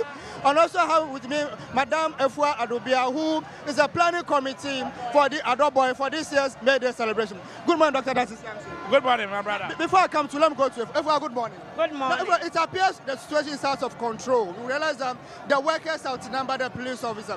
The organizers, what did you put together? Well, this is not the first time we are experiencing this. I've been part of this committee for the past 10 years. Hmm. And so we cannot say it is out of place. But it's rather unfortunate that when the security people asked the workers to move forward, they did not consult the committee. Hmm. We have a problem with that. So what will you be doing now? Oh, well, as it is now, we're just going to wait for the president's address. We're still talking to the security people to move the workers back so that we can listen to the, His Excellency the President's address. Right, before I come, right, before I come to Dr. Nassina, we are looking at sustaining pensions. How feasible is it? What's the position of organized labor on this? Well, the position of organized labor is very simple. Pensions will have to be sustained because that is the future for the worker. The moment you hit your retirement age, and with this era where people are living longer, i.e., the life expectancy is now on the higher side. So if there are no sustained pensions, then what it means is that post your working life, you are going to be in trouble. If God blesses you with another 30 years, 25 years, 40 years after your retirement, then it means virtually another working life in quotes or working generation without any means of livelihood. And that is why for us as workers, we think that at all costs, the issue of sustainability of pensions is one that we cannot afford to fail on. But, but, but when did you realize this? When did organized labor realize this? Because consistently people have retired and they have been given mega pensions for them. The instances where people have lost their lives. Is it the case organized labor have failed workers? No, no, no, no, no, not at all. Some may argue that it's late, but in truth, it's not late. If you remember, as far back as the early 2000s, when President Kufuor was in power, organized labor agitated that look, the pensions as we had then was not the best for us, and that culminated in the setting up of a pensions review commission that ultimately came up with the three-tier pension arrangement through Act 766. And then the implementation of the act itself, organized labor has had to fight for it. You remember there were times that labor had to go on demonstrations, government even took us to court, and all that has culminated finally in the setting up of these tier two schemes and what have you. So the issue of pensions is an ongoing activity. We cannot resolve all the issues in a day, but for us, we need to keep on hammering on the issues and ensuring that we address all of them. At least for now, we can say that tier two pensions is basically being established properly. TPFA transfers have happened. We are now looking at some issues with SSNIT. The NPRA is also working. Through the agitation, there's now a regulator. In the past, SSNIT was like a monopoly, but now there's a regulator that also checks the activities of pensions. Issues of unification of pensions to bring about fairness are all in the law. And labor is still fighting for all these things to happen. And it is not an easy fight. So labor has a long-term project to ensure that we have sustainable pensions that will cater for all. Thank you, Dr. Now, uh, before I let you go, this year's May Day in terms of preparations and organizations, how many people have you built to be awarded this year? About 45 people will be awarded. For what, today coming from where? From different uh, labor unions. Not my union, but other unions will be. I know NAGRAT, I know TUC, and other unions will be awarded because the the awardees come from the various unions. We, the uh, uh, May Day committee, do not select the people, but we give opportunity to the various unions to select the kind of people they want, they feel that deserve to be awarded. Right. So about 45 people will be awarded today. My final question to why is organized, why are your workers not marching this year? They're not protesting, but rather we decided to go more or less like a demonstration from the Obra Spot Circle this Please, I have, I, I have to uh, correct that erroneous impression. It is not a demonstration. It's just a simple procession. You, as you know, you listen to Dr. Baah who talked about the theme, sustainable pension for all, the role of social partners. Pension is something that affects every worker. You go home and you realize that what you are you are benefiting is so meager. And so to draw attention to the team or to the importance of pension, there's the need to organize something like we did this year. We changed the format to have a procession from Obra Spot to the venue so that more people will be asking questions. What, what, what is happening? Today is Workers' Day. Why are people men- Why are people marching? Uh-huh. So then that will lead them to know the theme and why it is important to focus on their pension. so so it is not, not a demo- marching it, we are not marching. Right, we are not marching. speech, Just after the speech, Dr. Baah will present a speech on behalf of workers of Ghana, and then His Excellency the President will also respond to our demand, whatever we are going to tell the President. So that's the format for this year. Thank you very much, Efua. You're welcome. Now, we, we just finished with um, the, the one of the organizers for this year's May Day celebrations, Madame Efua Adoboy, who is a key member for this year's May, May Day organizations. And she just told us that this year nobody is marching, no worker is going to march because they had a procession from the Brasswort at the Circle to the Independence Square. Daniel Opoku, TV3 News, Independence Square, Accra. And that's my senior colleague there, Daniel, at the Independence Square. It's raining, and uh, I'm sure you do also remember our report from the Independence Square that the interface is in cracks 61 years on.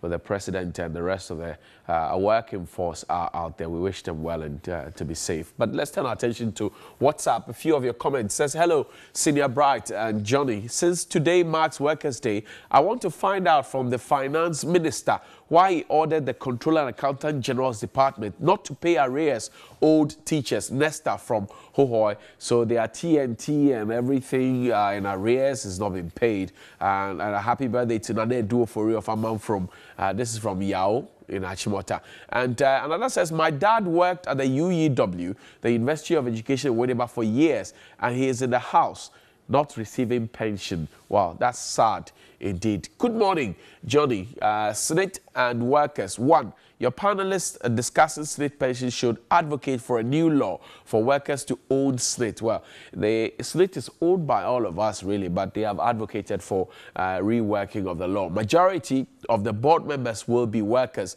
This will make the recruitment of staff transparent and not by government. Uh, Johnson Ehiakpo, thank you very much for those thoughts. Good morning, TV3. I want to use your uh, medium to remind the EC that we, uh, those who helped them in the referendum, uh, the creation of the new regions, have not yet been paid since uh, uh, today is Labor Day. Well, someone from the Northeast region, you are asking that, well, the EC pays you your money. We're not supposed to be employed. We create, we can create jobs for others. Samo Kwaofio and Bonti Benjamin and Achebe Buakwa says, as we celebrate our noble labor force for their sacrifices and commitment towards the progress of our beloved nation today, I pray that the good Lord will grant them the strength to do more for the nation as government also does its best for, to support them uh, at all times. Happy May Day to all of you. Ghost names indeed.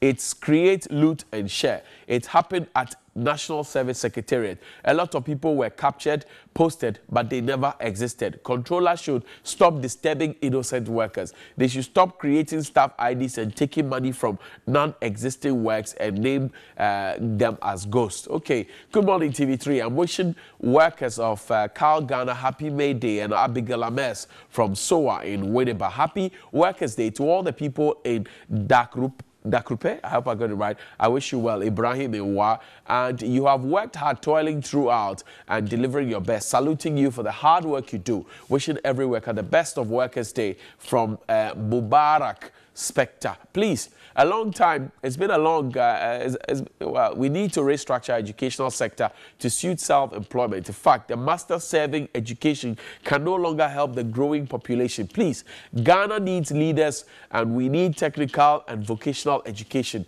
Uh, Agbe. Peje in Ho. And uh, Johnny, you are discussing a wonderful topic, but the problem of petty traders are from the state because they do not show much interest in their registration, but are quick to register the white collar job workers. And then when these petty traders get older, they become a burden to the white collar workers. Gideon from Kotobabi is raising a concern. But Tilapia has certainly got something to show us on Workers' Day. It's a happy Workers' Day, but the laborer deserves his wages. There you go. And you can see the, the map of Ghana being uh, constructed in full block and cement. There are three lanky, uh, hungry looking uh, gentlemen working, one with a shovel, one with a trowel, one with a headpan, trying to get on a ladder. And they all look hungry, topless. And there's a foreman of work standing by the side supervising. That's the National Builders Corps. Uh, it says, who? Labor Day without pay. Now, how can you work on a hungry stomach and expect to deliver any tangible results? By the way, it's almost 30 days since the Ghana Police Service told us that they know where the girls are. They've been asking questions. Where are they? They have still not been found. And I'm sure you also know that the CID uh, the uh, BNI boss yesterday was kicked out and then his deputy has been put in uh, that acting position. Well, you want to connect the dots? I leave it to your good judgment. But know that if you can think it and your heart can believe it, you only can achieve it. As workers, they say save Tomorrow is a working day. Don't overdo anything. We'll see you tomorrow. When the president finally speaks to the nation, we shall let you know and we'll bring you all the live pictures from the Independence Square. But as you could tell, it's raining out there, so uh, we're trying to rearrange the place to make it uh, feasible for the president to address the nation's Stressling. We'll see you uh, when the president speaks to the nation.